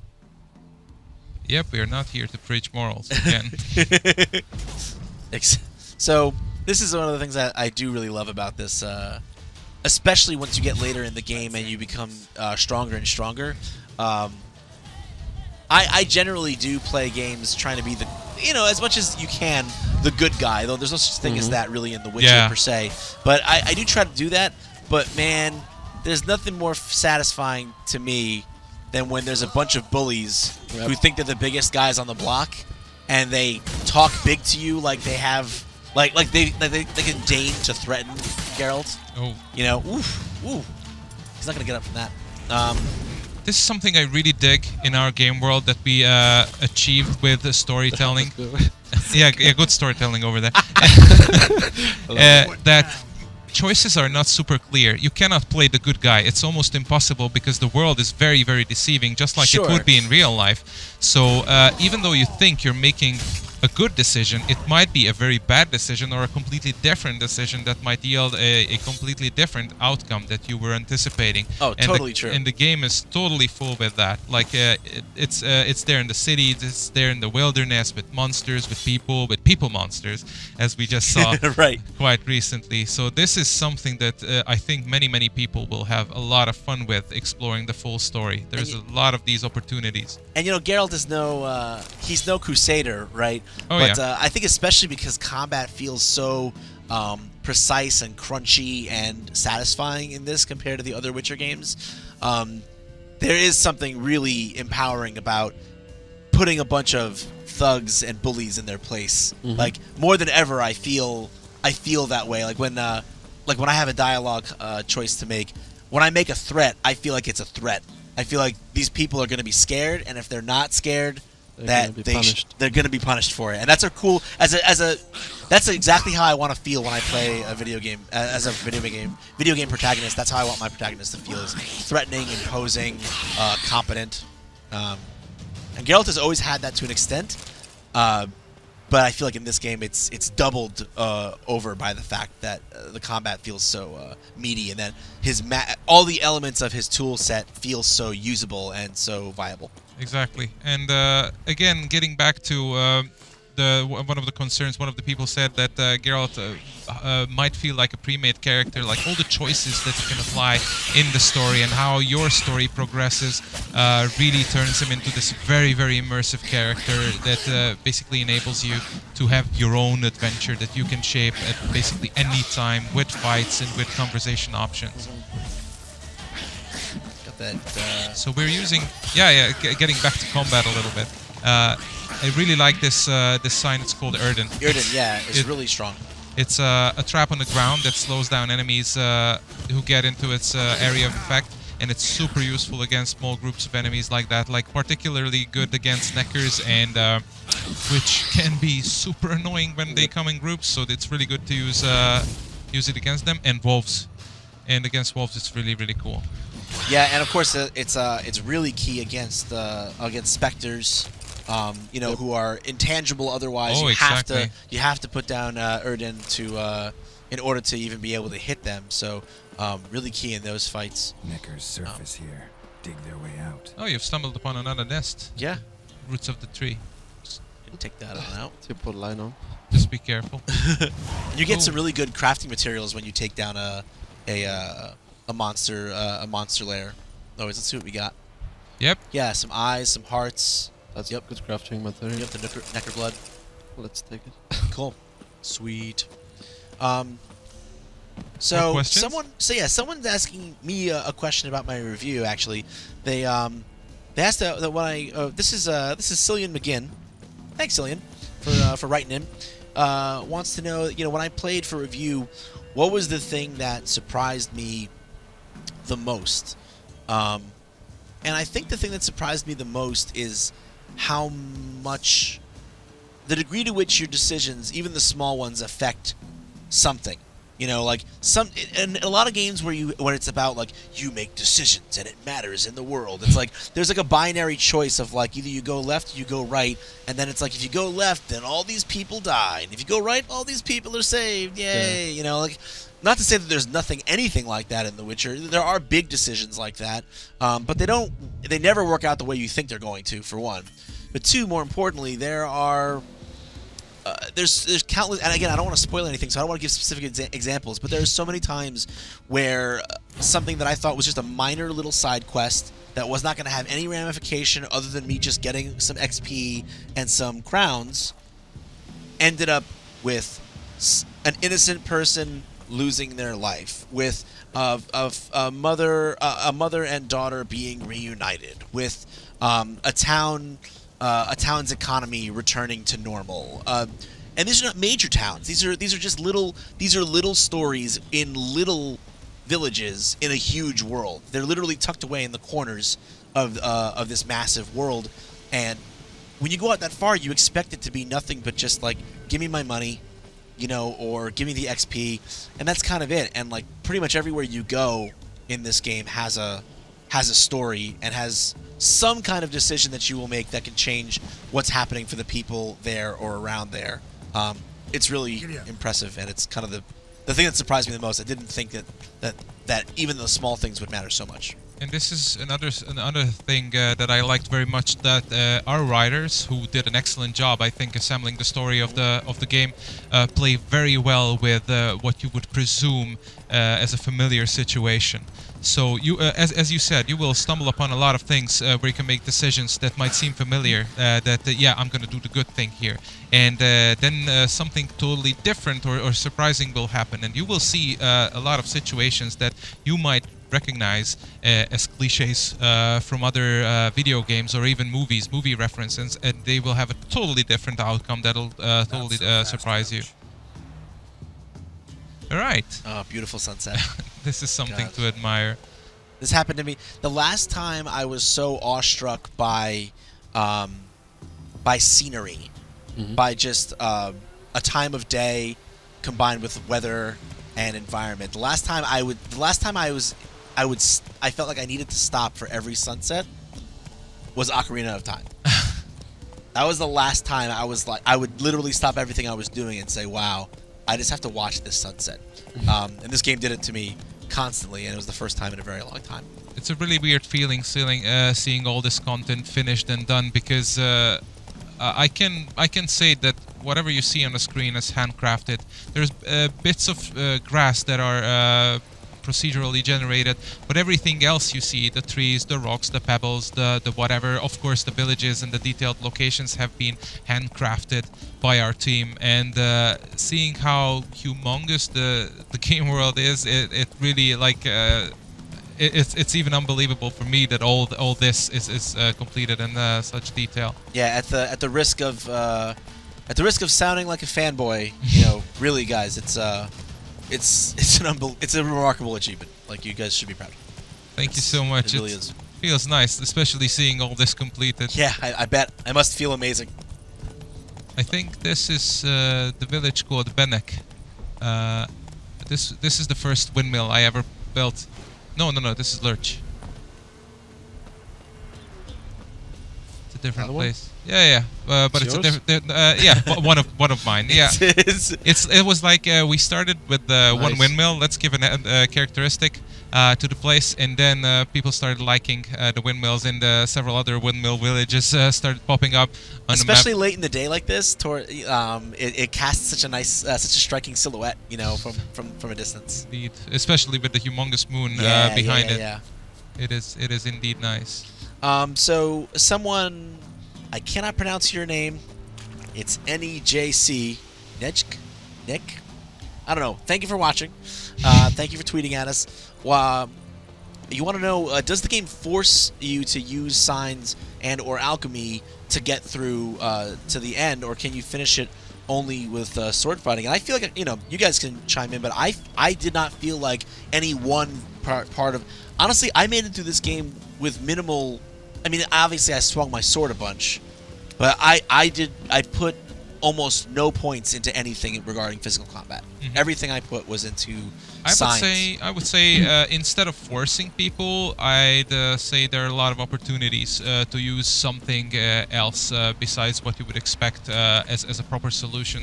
For example, we've mentioned Axii. It's a charm that you can use during conversations. For example, you can convince people uh, to uh, think uh, differently than uh, how they would have uh, thought before uh, you applied Axii on them. Uh, Axii is a really powerful tool, both in both in combat and in conversation. It's But of, course, you get an option to pay it instead of using Axii, or maybe do use it by force. Mhm. Do it by force. So Exactly, you're not because- forcing any ways to beat the game. Axii might sound like a cheat, right? Because yeah, I can just uh, change other people's minds, but uh, you know, it's, it's still part of the lore, and Witchers have uh, a, a certain reputation in certain circles. So uh, if uh, at one situation you might think like, yeah, I'm totally going to Axii myself out of this trouble, then you might catch the attention uh, of nearby people, like, look, a Witcher, he's mind tricking that person, so let's go get him. So you might start a fight that you didn't want to start, draw some attention on you, and so on and so on, and you st- uh, a land, uh, landslide of events. and, and even within the context of combat, you know, using it, like, sure, is it an effective tool once you put points into it? Yeah, but I mean, uh, let's think about all the points you have to put into it, right? You've got the first level of Axii, where where it's got a chance to fail, and um, guys will bum rush you as soon as you start casting it. You know, you have to put three points into into the first into the first Axii skill just to get it to a point where it's honestly practical to use in uh, in combat. So then then you go down the next level and you get access to the you know to the to the puppet ability. But even at this point now, you spent six six points Plus two slots. plus two slots. So that there's an opportunity cost there. Like that, that there's so many other things you could have done with those points. So Exactly. it's like, um, yeah, is Axii strong? Sure. If you level it up all the way, um, yeah, I mean it's great. But you're going to be using up four of your 12 slots, and um, you know Just for one skill. that's just for one skill. Exactly. You know, so everything. Plus, you don't feels- have too many skill points in the game, so yeah, it get, gives you a certain advantage in certain situations, but you're forfeiting other things. So yeah, your choices matter greatly. Um, booth gaming asks if uh, if there are any safeguards to uh, keep you from out leveling the uh, the main story content. That's balance. That's balance. That's my part of job. To be honest, uh, we decided to not scale uh, monster levels. which I think was a great choice. and with such a huge world and has such a huge game, it was tremendous work to figure it out and do it somehow. Uh, there are no safeguards. Yeah, if, and if, if you want to explore and spend 150 hours by just exploring and exping and doing exp and, and finding items, then you can come back to the story and probably There's you will have a higher level. Yeah. Exactly. You can do that, but uh, of course, like the game isn't endless, so you cannot uh, level up to infinity and Mhm. just uh, uh, out outpower everything else in the story. So you will, if you invest the effort, you will have an advantage initially. Yes. But as you progress and as uh, the challenges go grow more challenging, uh, that kind of difference between you and the challenges will uh, Mhm. dissipate, and you will get back to the balance. So yeah, you you can get, uh, gain the upper hand in certain situations, but it will not make you feel like you're cheating the system.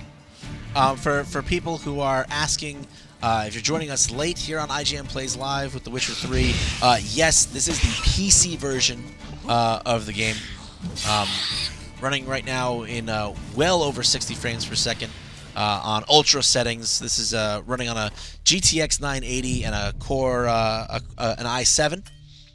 So uh, for those wondering, there's a little bit of uh, seems to be a little bit of confusion about what version we're playing.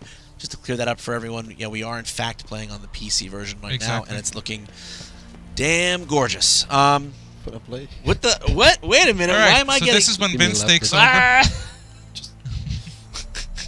What difficulty are we on here? Uh, easy. Put Nah, it- it's medium. Put it on so we hard. got a g- we have a good gear. Okay, cool. So, um, so where are we? Where? What, what's our goal right now? Where are we? Where are we headed? Let's beat some bandits and see how well can you do. I've got an awesome cave that we can visit. We Yeah, can where's go that? t- uh, it's uh, north. Um, what's left? East. No, west. Northwest. Northwest. yeah, that's good from a level designer, right? Uh, south, south, south. To the right. Yeah, there's a little cave icon over there. This yeah, one? Yeah. Cool. we can check that out. That's uh, not too far away. Yeah, I'm not even gonna fast travel that. We're, gonna do old, we're gonna do this the old-fashioned way. exactly. Did you set the marker there? Um, no, I didn't. I should. Yeah, because my sense of direction is not excellent. So I should definitely set the marker. Yeah, Where's this cave up Yeah, here? that one. press X to be awesome. Yes. There you go. And then you can go. It's a nice cave. Giddy up. So yeah, actually, I want to turn the. Oh, actually, if we could, uh, I'm sorry. Um, That's all right. I need to do one thing. Mm-mm. Mm-mm. No, no, no. I'm looking for. Maybe it's different on the PC version where it is um, to invert. Is it control settings? Oh, no, no, no. Uh, just You were looking for the. Uh, to invert, to invert. Oh, look, it's, yeah. it was there. oh, it was here. Oh, okay. No, no, here. No. But for the oh, right. controller. Both of them. N- No, just y-axis. Not, not. Are you kidding me? Get out! Play Get, like that. okay, just give me the controller. Get out of here. Okay, that should be. what are you trying to do to me? Is it good? All right, cool. Yeah, we're good. We're good. All right. I wanted to ask you, like, uh, do you have any me- uh, super memorable moments that you are especially fond of from the game? Like, what you Um, really liked? Not spoiling the story. It's hard. You see, it's tough because I don't want to spoil anything for anyone. Um, I, I'll say this. Faster. Um, the the I'm not going to give any specifics, but uh, in the first quarter to third of the game or so, um, there's a character. Um, he's a baron, um, and his whole storyline was very satisfying uh, to me. Uh, that storyline handled some uh, some thematically some rough stuff. Um, that uh, can easily turn into a one-sided conversation and a one-sided issue, and uh, it was handled in a, a way that was a lot more interesting, a lot more nuanced, um, and I really appreciated that. That was one of my most uh, one of my most memorable. Uh... Oh, hey guys. oh, you can see the horse's fear level increasing with the Yeah, gonna- incoming damage. You're pretty far from your enemies, so. Oh yeah, and the horse I think can can help you in combat. Like uh, if uh, the enemies come close uh, to his uh, uh, hind legs, he will kick and he will deliver massive amounts of damage. Like you can actually use that to your advantage. Oh, really? He can he can kick. Yeah, I yeah, never. yeah. Yeah, never exactly. He can that. kick. I don't have. Cool. Awesome. Jump back on horse. I'm still getting used to the uh, the icons being a little bit uh, Uh-huh. different. I'm so used to the uh, the PS4 icons that I've been I've been uh, I've been playing with. Hey, why don't we stop here and search for this treasure? Oh, totally.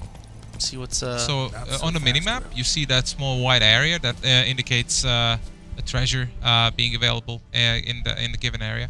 Also, you're using your Witcher senses. and Yep. Those things in the distance, pulsating little rings, they indicate uh, sound sources, Sound sources. and right, they can so- belong to all sorts of things, uh, like critters of the wood uh, or enemies. Uh, and uh, you can uh, judge that by uh, color information.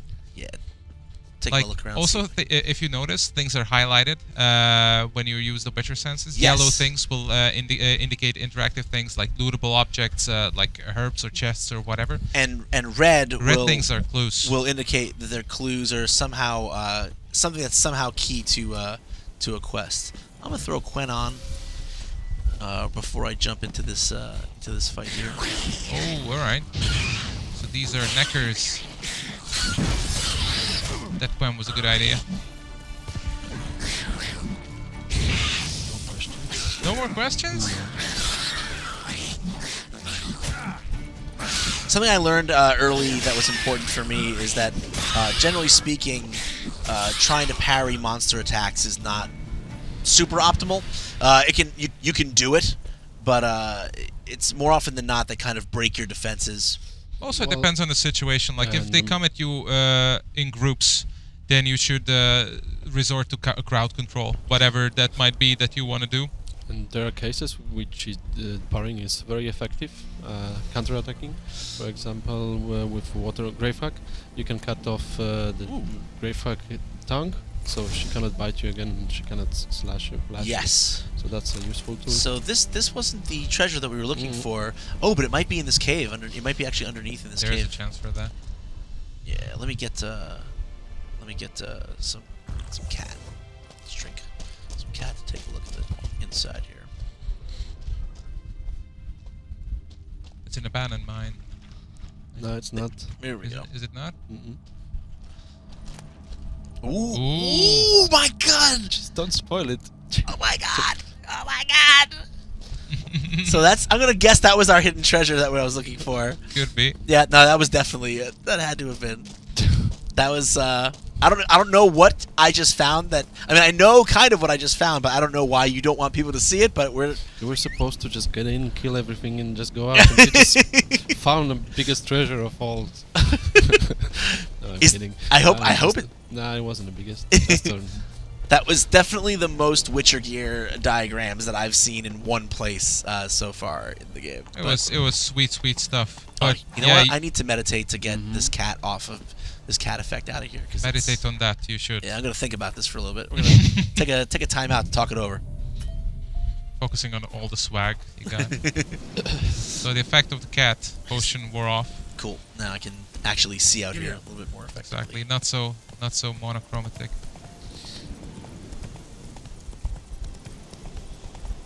I love uh, how uh, foliage. Uh, I love how it reacts to the wind.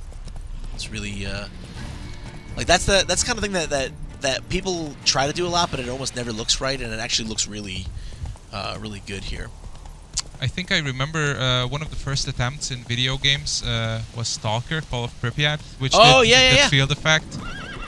So uh, yeah, comparing it to the good old days uh, of video gaming, uh, I can see some real nice progress in, in uh, foliage, especially like the trees sway so nicely in the wind. Oh yeah. So I think we're here, right? I think this is the cave that you. Yep, we're Oh, exactly, yeah. we're at the at Yeah. the we're at our destination. And uh, henceforth, you are free to explore as you please or wish. What happened? Did you close all the? Actually, you know what? I'm gonna hand this back over to you for a second Alright. because I Let me help you with that. yeah, a little bit of, little bit of housekeeping to do. Let me take a look here. There you go. you that can play. No, I don't want to ruin the amazing Jeez. adventure. Like I've got different skills. I need to change those options. Oh yeah. I don't know how to play with invert. Actually, now would be a good time to mention uh, the option screen, right? Because uh, Yeah, some people are gonna. Actually, people have been asking about this. We'll get to this in one second, but uh, Oh, we actually have a question about that. Oh yeah, we do, we do. But Cool. uh, but real quick, uh, again, folks, uh, thank you so much for tuning in. You're uh, you're watching IGN plays live. We're doing The Witcher 3 today, as we're going to be doing a little bit more in the future. Um, we got more coming up on IGN uh, IGN plays live um, later today and later in the week and next week. Let me run down what we got happening for you. Uh, right after this, at 3 p.m., we're going to be doing a live version of Podcast Beyond. So stay tuned uh, with us for that. Uh, then on Friday, uh, we've got a couple of things planned at uh, at noon. Uh, at noon Pacific, we're going to be doing some Rock Band 4. And then at 1 o'clock, we'll be doing more of this fine game, The Witcher 3, The Wild Hunt. And then on uh, Tuesday, next Tuesday, at 10 a.m., we're going to kick off with Destiny House of Wolves. That's the new expansion coming for Destiny next week. Um, and then we're uh, right after that at 1 p.m. We're gonna have uh, even more Witcher 3. So uh, thank you so much for joining us. Uh, IGN plays live, and and uh, if you like what you see, uh, please keep coming back. We got a lot more coming uh, coming for you. So we were about to say, yeah, some people are asking to see. Uh, they, they wanted to see specifically the graphical options menu. Can we show that to them real quick? I think we can. That'd be great. Yeah, some people are asking about it. So we have got an incredible amount of options that you can fine tune your experience with, uh, graphical and gameplay wise. Let's uh, first uh, show the graphical settings. As you can see, we were true to our words and we are indeed playing on Ultra, Awesome. uh, like every setting on. And uh, yeah, we wanted to. Uh, yeah, l- l- I'll let you browse through them. Mhm, Just took it through. Exactly, just a quick through. Uh, Cool. It's an SSAO slider. Cool. Yeah, there's a lot of stuff here. And Oh yeah, this is something uh, where it uh, gets interesting. Like you can actually customize your uh, gameplay experience by customizing elements of the of the graphical user interface. Uh, like uh, if you uh, Let's look turn it at- off all. look at the options, you can completely switch off everything and uh, focus on the adventure, like health bars, minimap, uh, skills, active uh, effects on you. You can turn everything off, and then you will end up with something like this where you can just focus on exploration looking around and you will get like prompts maybe uh, que- about quest updates and of course if you enter the menu you will see all your stuff but this is pure pure gameplay lore and and adventure Now so I'm lost in the cave. if, I if, if, if that is your thing. Yeah, like if you're in a maze like that or a dungeon, it's actually advised to uh, keep the keep the mini map on. and and something else that's nice about the interface is that um you, when you set when you decide you know hey this is the quest i'm going to track it doesn't just lock you into uh it doesn't just say here go you go in that gen- direction there's a you can turn on a pathing tool that will kind of say hey take this road now go here now kind of like a, a you know kind of like a witcher gps but that's you know if that's too handholdy for you you can turn just that on and off you know, so it's not just that you can turn everything off; it's the the minutia with which you can customize the experience. Exactly. That's uh, that's uh, that's pretty pretty cool. Also, some of the elements, uh, GUI elements, are tied to difficulty, if I remember correctly. Right? Is is that still so? No, I don't think so. Oh, okay. So I don't want to mislead people. Like uh, there were design uh, experiments and decisions uh, playing around with that, but uh, that's that's something we need to find out more about. Interesting, but but it makes some sense, right? Like, um, so something that the, that the, that you guys do do with the difficulty level uh, is on the higher difficulty levels you can't you can meditate, but you don't get health back, um, and that's that's that you have to um, well play a little more like a Witcher, and you have to lean on your potions, and you have to lean on your on your supplies and stuff. Uh, would be interesting if if uh, if certain other uh, things were off by nature, and that you had to again like a Witcher be I don't know more aware of your surroundings. Um, you know, maybe do some kind of tracking of your own, being able to uh, kind of pick out what certain things mean. That could have been an interesting experiment, but uh, I think it worked out. Uh, I think it worked out I, for the I best remember way it there were a lot of decisions uh, taken into consideration, but uh, what we ended up with, I think it's a nice amalgamation of, uh, of the best choices. Oh yeah, this is this is also cool. que- Uh, So side quite quest. long. Should we just?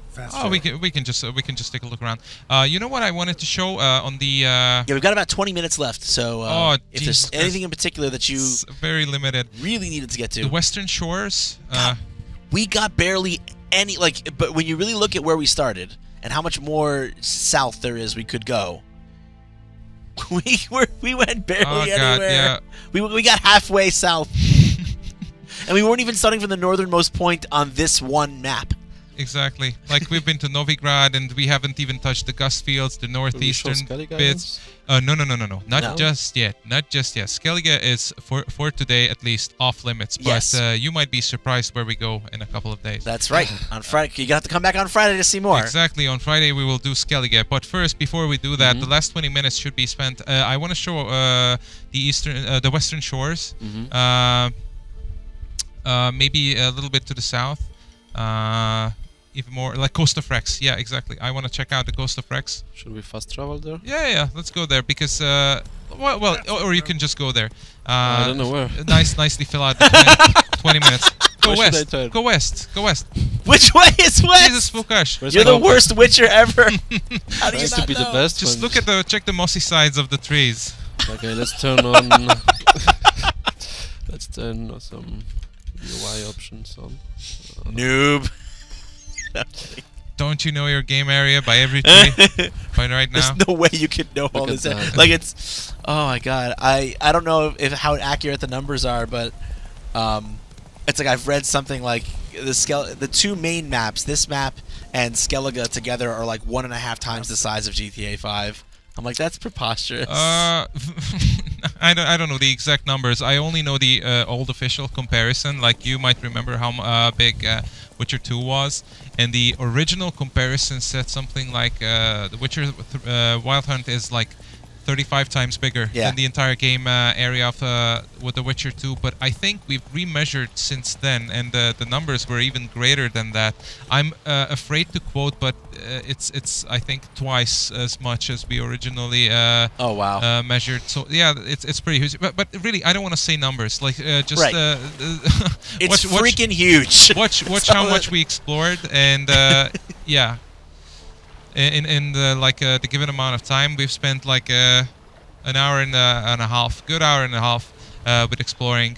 And uh, yeah, we have covered a very, very minuscule part of the game world. And uh, yeah, I think the the kind of gameplay uh, we had right now confirms that uh, it's rich. You you will have a bunch of events, quite, Um, quite a lot.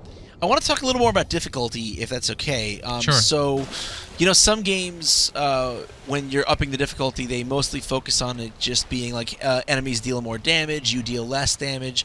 Um, some games take a, a bit of a different approach where, where they just make enemies smarter, or they make more have it there be more enemies. How, how does how does difficulty actually scale up in The Witcher Three, and and what what can people expect out of the highest difficulty levels?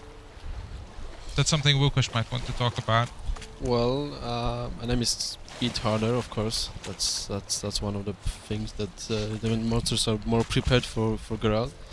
Uh, I think it's more focused on uh, being prepared gear-wise to, to craft a better gear, to, to have a better gear, to have to be prepared with potions and bombs.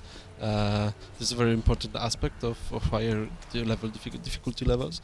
Plus, the approach to combat is totally different. For you play on normal, just pick your playstyle, your signs or combat, or alchemy maybe, and you just you have some. Um, maybe you might have some problems, but it's more about having fun and enjoying the story and and using whichever skills you want to. If you if you're good at them, you can. But on the harder difficulties, you have to think how to approach combat. You have to pick up different skills, maybe more defensive to survive the battle. Plus, uh, focusing on on, on gear is, is most important. So would you say that so on higher difficulty levels, do the enemies actually deal more damage? They do. They do. Okay. Mhm. Are they any more aggressive? Do they get new attacks? Uh, well, attacks. Uh, no, no, they don't. Same same attacks, Yeah. but they'll, they but Mhm. will they be more aggressive or more, any more intelligent? Yes, yes, more aggressive for sure. And what about quantity? Would you say there's more uh, more more to fight uh, on the higher levels? Are resources any more scarce? I'm wondering if you guys do any balancing that Um, way. You are much more dependent on your resources, so the way you use them and consume them, uh, yes, they will become more scarce. For example, as we mentioned, uh, on higher difficulty levels, uh, health uh, does not uh, get replenished Sure. during meditation, and that might seem uh, like uh, n- not not a big deal, but uh, it, it might screw over your adventures if you don't pay attention. So Mhm. you really have to um, like. Uh, use use the mindset of the character you're playing. Uh, like uh, think ahead, plan ahead, uh, have different things in mind uh, based on what you learned. So this this kind of difficulty change is not just again not just parameters, but brings you into the game to think ahead and be aware of your. Uh, of your raw ingredients, all, all, all the ingredients uh, that, that uh, basically complete your adventure. Awesome. Um, again, guys, reminder: uh, we're uh, we got 15 minutes left. Um, right after this, we are going to be uh, we're going to be going right over to. Nice. Uh, that was beautiful. we're going to be going right. That was wow. That looked so good.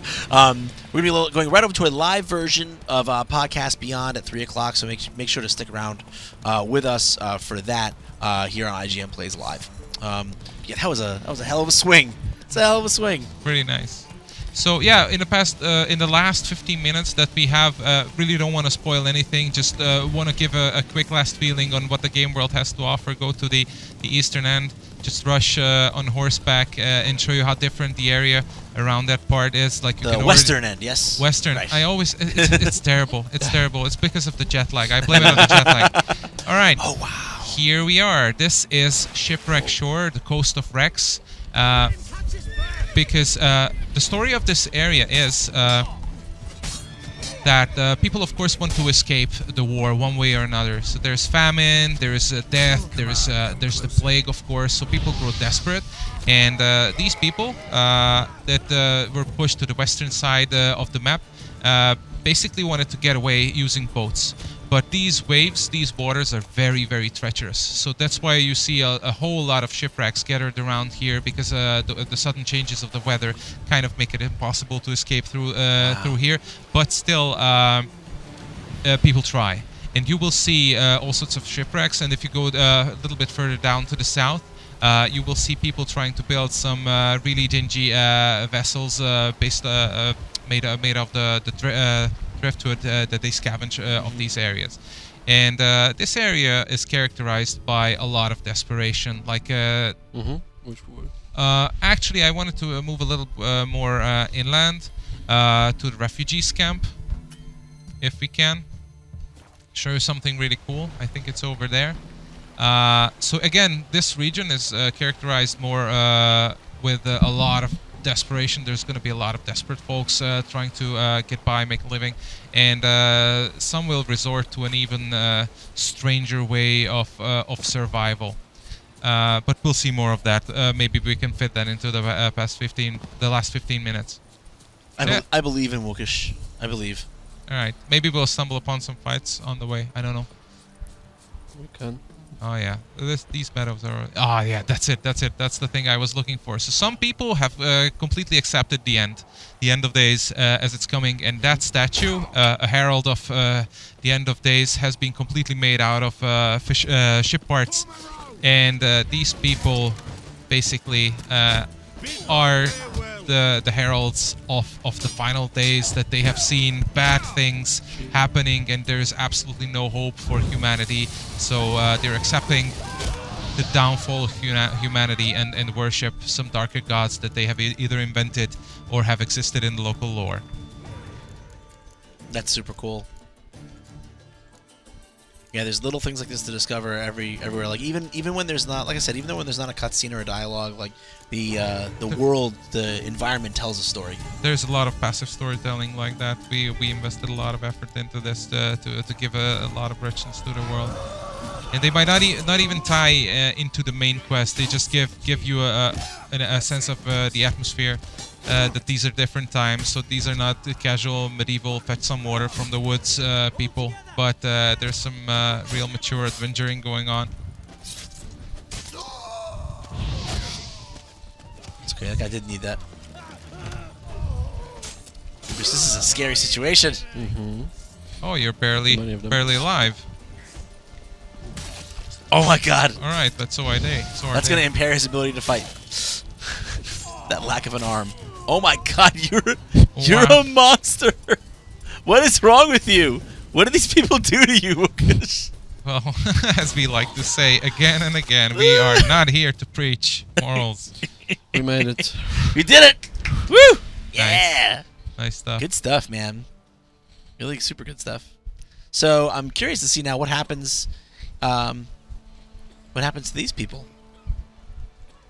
Seem to have liberated this camp. Yeah. Um, They got a new leader. Yeah, they do. I like I, now. I almost wonder what what, but of course, you know, you get rid of one bad boss. You, you sometimes you let in another bad boss. I don't know. I, don't- I don't know anything about this quest, but uh, you know, in the back of my head, I'm always Maybe let's not spoil it for the people. yeah. Let's- No, I, I don't know anything about it. I'm ge- I'm literally guessing. You know, I don't want I don't want you guys to spoil anything, but that's the really cool thing that I that uh, noticed uh, again and again when you make these decisions. Like, you know, no good deed goes unpunished exactly. in uh, in The Witcher. You know, everything good that you do, that you think, you know, you're a savior and you've fixed everything for people. Um, sometimes it's not the case. Yeah. And uh, well which said. super. Uh, you know, it's a it's a it's a rich, uh, it's a rich world that's. Uh, it's not it's not rewarding in the in the typical sense of I feel like I'm a good person who's made the world a better place. It's rewarding because it's a place, and for better or for worse, you leave a footprint on it, and um, regardless of what you try to do. And because of the non-predictability of your actions, there's always a weight to whatever you do, whatever you kill, whatever you fight, whatever you choose to say, uh, and that makes like every every living minute of the world uh, very very different uh, than what you are used to. Oh yeah, the sign was warning us about pirates, and, and uh, there will be some folks trying, trying to get other people's goods. Yeah, Alright. so we've got like seven or eight minutes left. I mean, feel free to run around and. Do we uh, have any more questions from the guys? Yeah, let me let me let me see if we got any more interesting uh, any more interesting questions. Yeah, uh, so Raggy, uh, Raggy writes in on uh, on Twitter and uh, asks uh, if there are unique armor or weapons that only drop uh, that you can only craft or find or get um, on the higher difficulty settings. Are there any Nope. difficulty specific? Item uh, item availability like that is not dependent on uh, difficulty settings, but of course they are harder to get on higher difficulty settings. So that might make them feel unique. So uh, no, everything in the game I think it's uh, always always available uh, to find or craft. But of course, if if you uh, switch to a higher difficulty level, that will greatly affect your chances. Um, someone wants to know if uh, if if the PS4 version looks uh, looks as good as this. And come on, man, like you, you need to ask that question. Of course it doesn't. Like you know, like the PS4 version looks terrific. It's it's beautiful, but um, I mean, you know the drill. Uh, a high-end PC um, on a PC game like this, you know, run, running at max settings. There's no there's no comparison. I mean, the PS4 version looks excellent.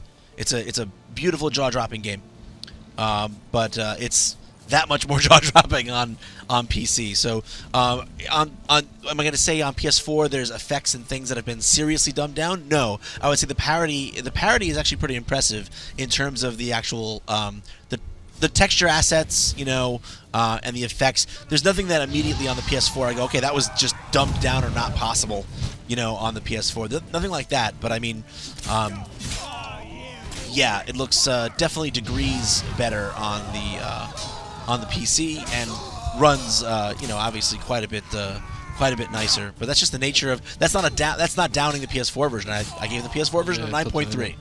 But the reality is, a, PC version, a beefed up PC, will always look better than a console. Let me tell you this: if you're interested in the differences uh, between the different releases and uh, and versions, like we had an event, we had a, a press event in in Sydney, Australia, Uh-huh. where all three systems were on display and people could play with uh, whatever uh, system they chose to play with, and. Uh, we let them play, we let them casually switch between systems, and after like five or ten minutes, you don't care.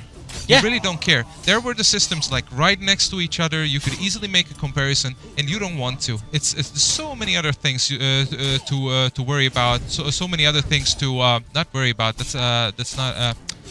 To immerse yourself into to uh, uh, to play the adventure and everything uh, that you don't care about the, uh, the visual differences they are so minuscule Yeah. compared to the experience that is provided ba- basically by the visual achievement the game has to offer on, On- all three platforms On every platform, the game is a blast, and on every platform is it is an achievement.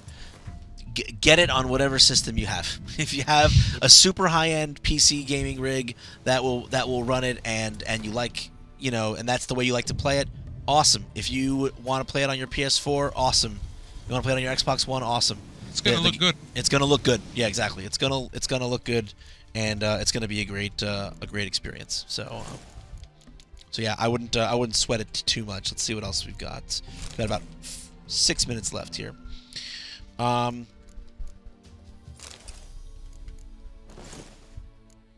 Um, Ty wants to know. Hi, Ty. Um, wants to know if there's going to be uh, photo mode integration for the PS4. Uh, Uh, or or and will you be able to preload if you if you purchase the game digitally? Will you be able to preload on the PS4 or uh, or no? I don't know for sure. This is something we should ask our PR guys. Uh, Maybe we can answer that next time. on exactly. ne- on we'll we'll try to get Friday. more information on that. Cool. Um, let's see. You're switching back to GUI element? Yeah, photo mode. Ah, yeah. All right. There you go. So here's uh here's Photo a- mode confirmed. Yeah, this is yeah, there you go. There's photo mode. you don't Um, need any special setting for it. So this is a good question uh, that I think I'd, I'd love to hear your guys' take on it. Um, they, uh, Logan Samuels wants to know if um, he's never played any other. Uh, he's he hasn't seen much of the other Witcher games really. Wants to know if he can hop into this one without playing the others. Super important question.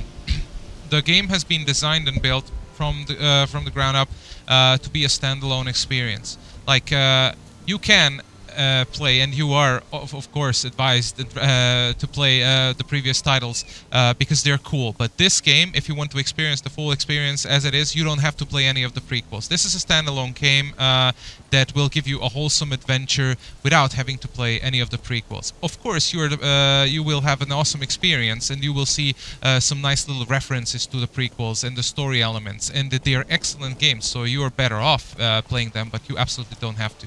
Um, piggybacking on that, I'm curious what your guys' take is on how important it is to have familiarity with the novels, given the characters that the that the story revolves around. Faster. It's really cool to read the novels because they're excellent novels, and uh, you will see uh, a lot of references to that that will make you nod.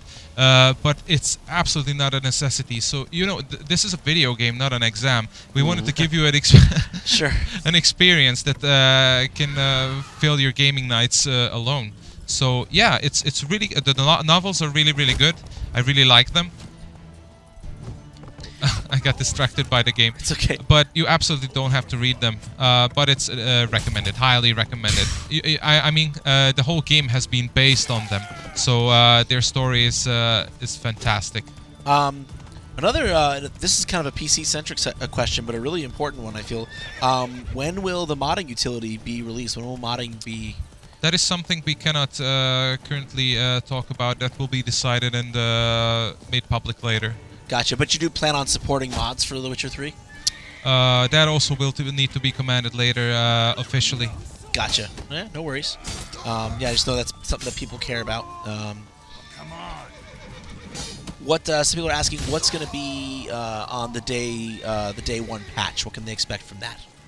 Um, it's going to fix some minor uh, bugs, uh, mostly like uh, visual convenience stuff uh, and, and, and things like that. Some optimization, I believe. Is that optimization going to be on the on the console versions as well? Yes. Yes. Gotcha. So, so because people have been asking me this, and Mhm. um, it, it's been tough to exactly answer. They people are curious about if the frame rate is uh, on the console versions will be any more stable on the final release compared to the one that I played for review. Uh, there's going to be some improvements, I believe. I don't know the exact values. Sure, no one's trying to lock you into like a, a number or anything. I know it's impossible to say, but the the goal at least is to optimize it a little further for, for day one. It's going to be very nice with the patch, yeah. Cool, awesome. Um, kill more people. yeah. So, so the guys we just killed are cannibals. They're they're the other kind of desperate people that live in live in this region. They they basically uh, chose to just uh, feed upon the weak and uh, and the non-willing. And of course, uh, that means that they have to get a sword in the face. Exactly. That's how that's how that's how things work in video games. So we are uh, Peter, Łukasz. It's been such a pleasure. We've got to awesome. we got to say goodbye for now, but not for forever. Exactly. Um, you can you can see more Witcher three uh, this uh, this Friday on IGN Plays Live. But uh, thank you so much for joining us, guys. And now it's time for us to uh, head on over um, to uh, to Beyond. Before we do, just a, a little reminder about the other things we got going on. We are going to uh, right now after this we're going to Beyond, but then we're going to be on Friday uh, doing Rock Band 4 at uh, at 12 p.m. and then we'll be doing uh, more Witcher 3 at 1, and that's on Friday. Uh, Tuesday we'll be doing uh, at 10 a.m. Destiny House of Wolves for a few hours, and then moving on to more Witcher 3, and again that's on at 1 o'clock, and again that's on Tuesday. But thank you so much for joining us here on IGN Plays Live. Now let's head on over and check out Podcast Beyond.